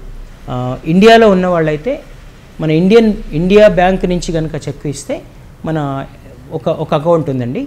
ఎఫ్సిఆర్ఏకి వేరే వేరే అకౌంట్ ఉందండి. అది వాళ్ళే మన గవర్నమెంట్ ఆఫ్ ఇండియా వాళ్ళే సపరేట్ అకౌంట్ పెడతారండి. నేను ఇస్తానండి. నేను రెండు ఫారిన్లో ఉండే వాళ్ళైతే ఏ అకౌంట్కి ట్రాన్స్ఫర్ చేయాలి? ఎల్- ఇండియాలో ఉండే వాళ్ళైతే ఏ అకౌంట్ ట్రాన్స్ఫర్ చేయాలి? నేను చెప్తాను. సో వాళ్ళు అలా కనుక చేస్తే ఒక యార్డ్ కన్నా మీరు ఇవ్వచ్చు మీరు వంద యార్డ్స్ ఇవ్వచ్చు వెయ్యి యార్డ్స్ కూడా ఇవ్వచ్చు. సో ఎందుకంటే మీరందరూ తలుచుకుంటేనే ఇది పది కాలాల పాటు ఉంటుంది. ఇంకా అదృష్టం ఏంటంటే మా అబ్బాయి కూడా నాకు ప్రామిస్ చేశాడండి. నా తర్వాత ఈ ఎల్ఎంఏ మిషన్ని తను ముందుకు తీసుకెళ్తారు. మా పిల్లలు కూడా ప్రామిస్ చేశారు. మా స్టూడెంట్స్లో కూడా చాలామంది మంచి గురువులు అవుతున్నారు వాళ్ళు కూడా. చాలా బాగా నేర్ ఒక్కొక్కసారి నేను యూఎస్కి వెళ్ళినప్పుడు మా పిల్లలే నిర్వహిస్తారు. మా అబ్బాయి చెప్తాడు మా స్టూడెంట్స్ చాలామంది కూడా క్లాసులు తీసుకుంటారు. సో నాకు తెలిసి నా తర్వాత తరం కూడా తయారవుతుందండి. వాళ్ళు ఈ ఎల్ఎంఏ ఆగదు. ఇది అలా తరతరాలుగా త్యాగరాయ స్వామి కృతులు రామదాసుల వారి కృతులు ఎలా అయితే తరతరాలకు వెళ్తున్నాయో అన్నమయ్య వారి కృతులు అలా ఎల్ఎంఏ కాన్సెప్ట్ కూడా తరతరాలు ముందుకు తీసుకెళ్తారు మా పిల్లలందరూ కలిసి అని నేను నమ్ముతూ అందరి సహకారాన్ని నేను కోరుతున్నాను మాన్య ముఖ్యమంత్రి వర్యుల దగ్గరికి వెళ్ళి కలవడానికి మా సంస్థని ఎంతగానో ఎంకరేజ్ చేస్తున్నటువంటి శ్రీ కేవి రమణాచారి గారిని అలాగే దేశపతి శ్రీనివాస్ గారిని మామిడి హరికృష్ణ గారిని నందిని సిద్ధారెడ్డి గారిని వాళ్ళు ఈ నలుగురు ఎల్ఎంఏని చాలా ఎంకరేజ్ చేస్తున్నారండి. అలాగే వేణుగోపాలాచారి గారు నాకు తెలిసిన వాళ్ళు వీళ్ళు. రమణాచారి గారు చాలా రోజుల నుంచి మన సంస్థకి ఒక ఇల్లు కావాలని కృషి చేస్తున్నారు. సో వీళ్ళందరి సహకారంతో ఎప్పుడో ఒకప్పుడు సార్ని కలిసి సహాయం అర్థించాలని మాకుందండి. Thank you so much sir. నిజంగా మీతో మాట్లాడుతుంటే ఒక గురువుతో ఇంతసేపు అయినా ఇంకొక రెండు గంటలైనా సరే మాట్లాడుతూనే ఉండొచ్చు అని అనిపిస్తుంది. మీ సమయాన్ని మాకు కేటాయించి మీ నిబద్ధతని అంటే ఇన్స్టిట్యూట్ పట్ల కానీ సమాజం పట్ల కానీ ఒక గురువుగా సంగీతం గురించే కాకుండా ఒక సంస్కారం గురించి కూడా చెప్పే ఒక గురువుగా ఈ స్థానంలో నేను మిమ్మల్ని ఇంటర్వ్యూ చేసే అవకాశం నాకు వచ్చినందుకు మీరు ఇంత సమయాన్ని కేటాయించినందుకు అలాగే మీరు సమాజం గురించి ఆలోచించే ఒక ఇన్స్టిట్యూట్ని ఏదైతే నెలకొల్పాలనుకుంటున్నారో అది ఖచ్చితంగా తొందరగా ఆ భగవంతుని ఆశీస్సులతో అది సాకారం కావాలని దానికి మా వంతు కృషి మేము కూడా చేస్తామని చెప్పి తెలియజేసుకుంటూ నాకు ఈ సమయాన్ని ఇచ్చినందుకు ధన్యవాదాలు సార్. మీకు కూడా ఎస్క్యూబ్ ఛానల్ వారికి అలాగే ప్రేక్షకులందరికీ కూడా నా శుభాకాంక్షలు తెలియజేస్తున్నాను. సర్వే జన సుఖినో భవంతు. లోకా సమస్త సుఖినో భవంతు. ఓం శాంతి శాంతి శాంతి. ఇన్సైట్ విత్ ఎస్ఆర్కే ఇది ఇంటర్వ్యూలా లేదు. మేము ఇద్దరం ఫ్రెండ్స్ కూర్చొని మాట్లాడుకుంటున్నట్టుగా ఉంది. And he made me feel like that. So ఎక్కడ నేను ఆర్టిఫిషియల్గా మాట్లాడే అవకాశం ఆయన ఇవ్వలేదు. సో ఇంటర్వ్యూ కంటే ముందు నుంచి కూడా అట్మాస్ఫియర్ క్రియేట్ చేశారు. చాలాసేపు మాట్లాడాము కానీ ఇది ఇంటర్వ్యూ లాగా నాకు అనిపించలేదు. చాలా క్యాజువల్గా ఆయనకు కావాల్సిన సమాచారాన్ని కూల్గా రాబట్టారు. Really I'm very happy so ఇంకా ఎంతసేపు మాట్లాడినా టైం తెలిసేటట్లేదు. సో చాలా బాగుంది చాలా కూల్గా ఉంది ఇంటర్వ్యూ. Thank you SRK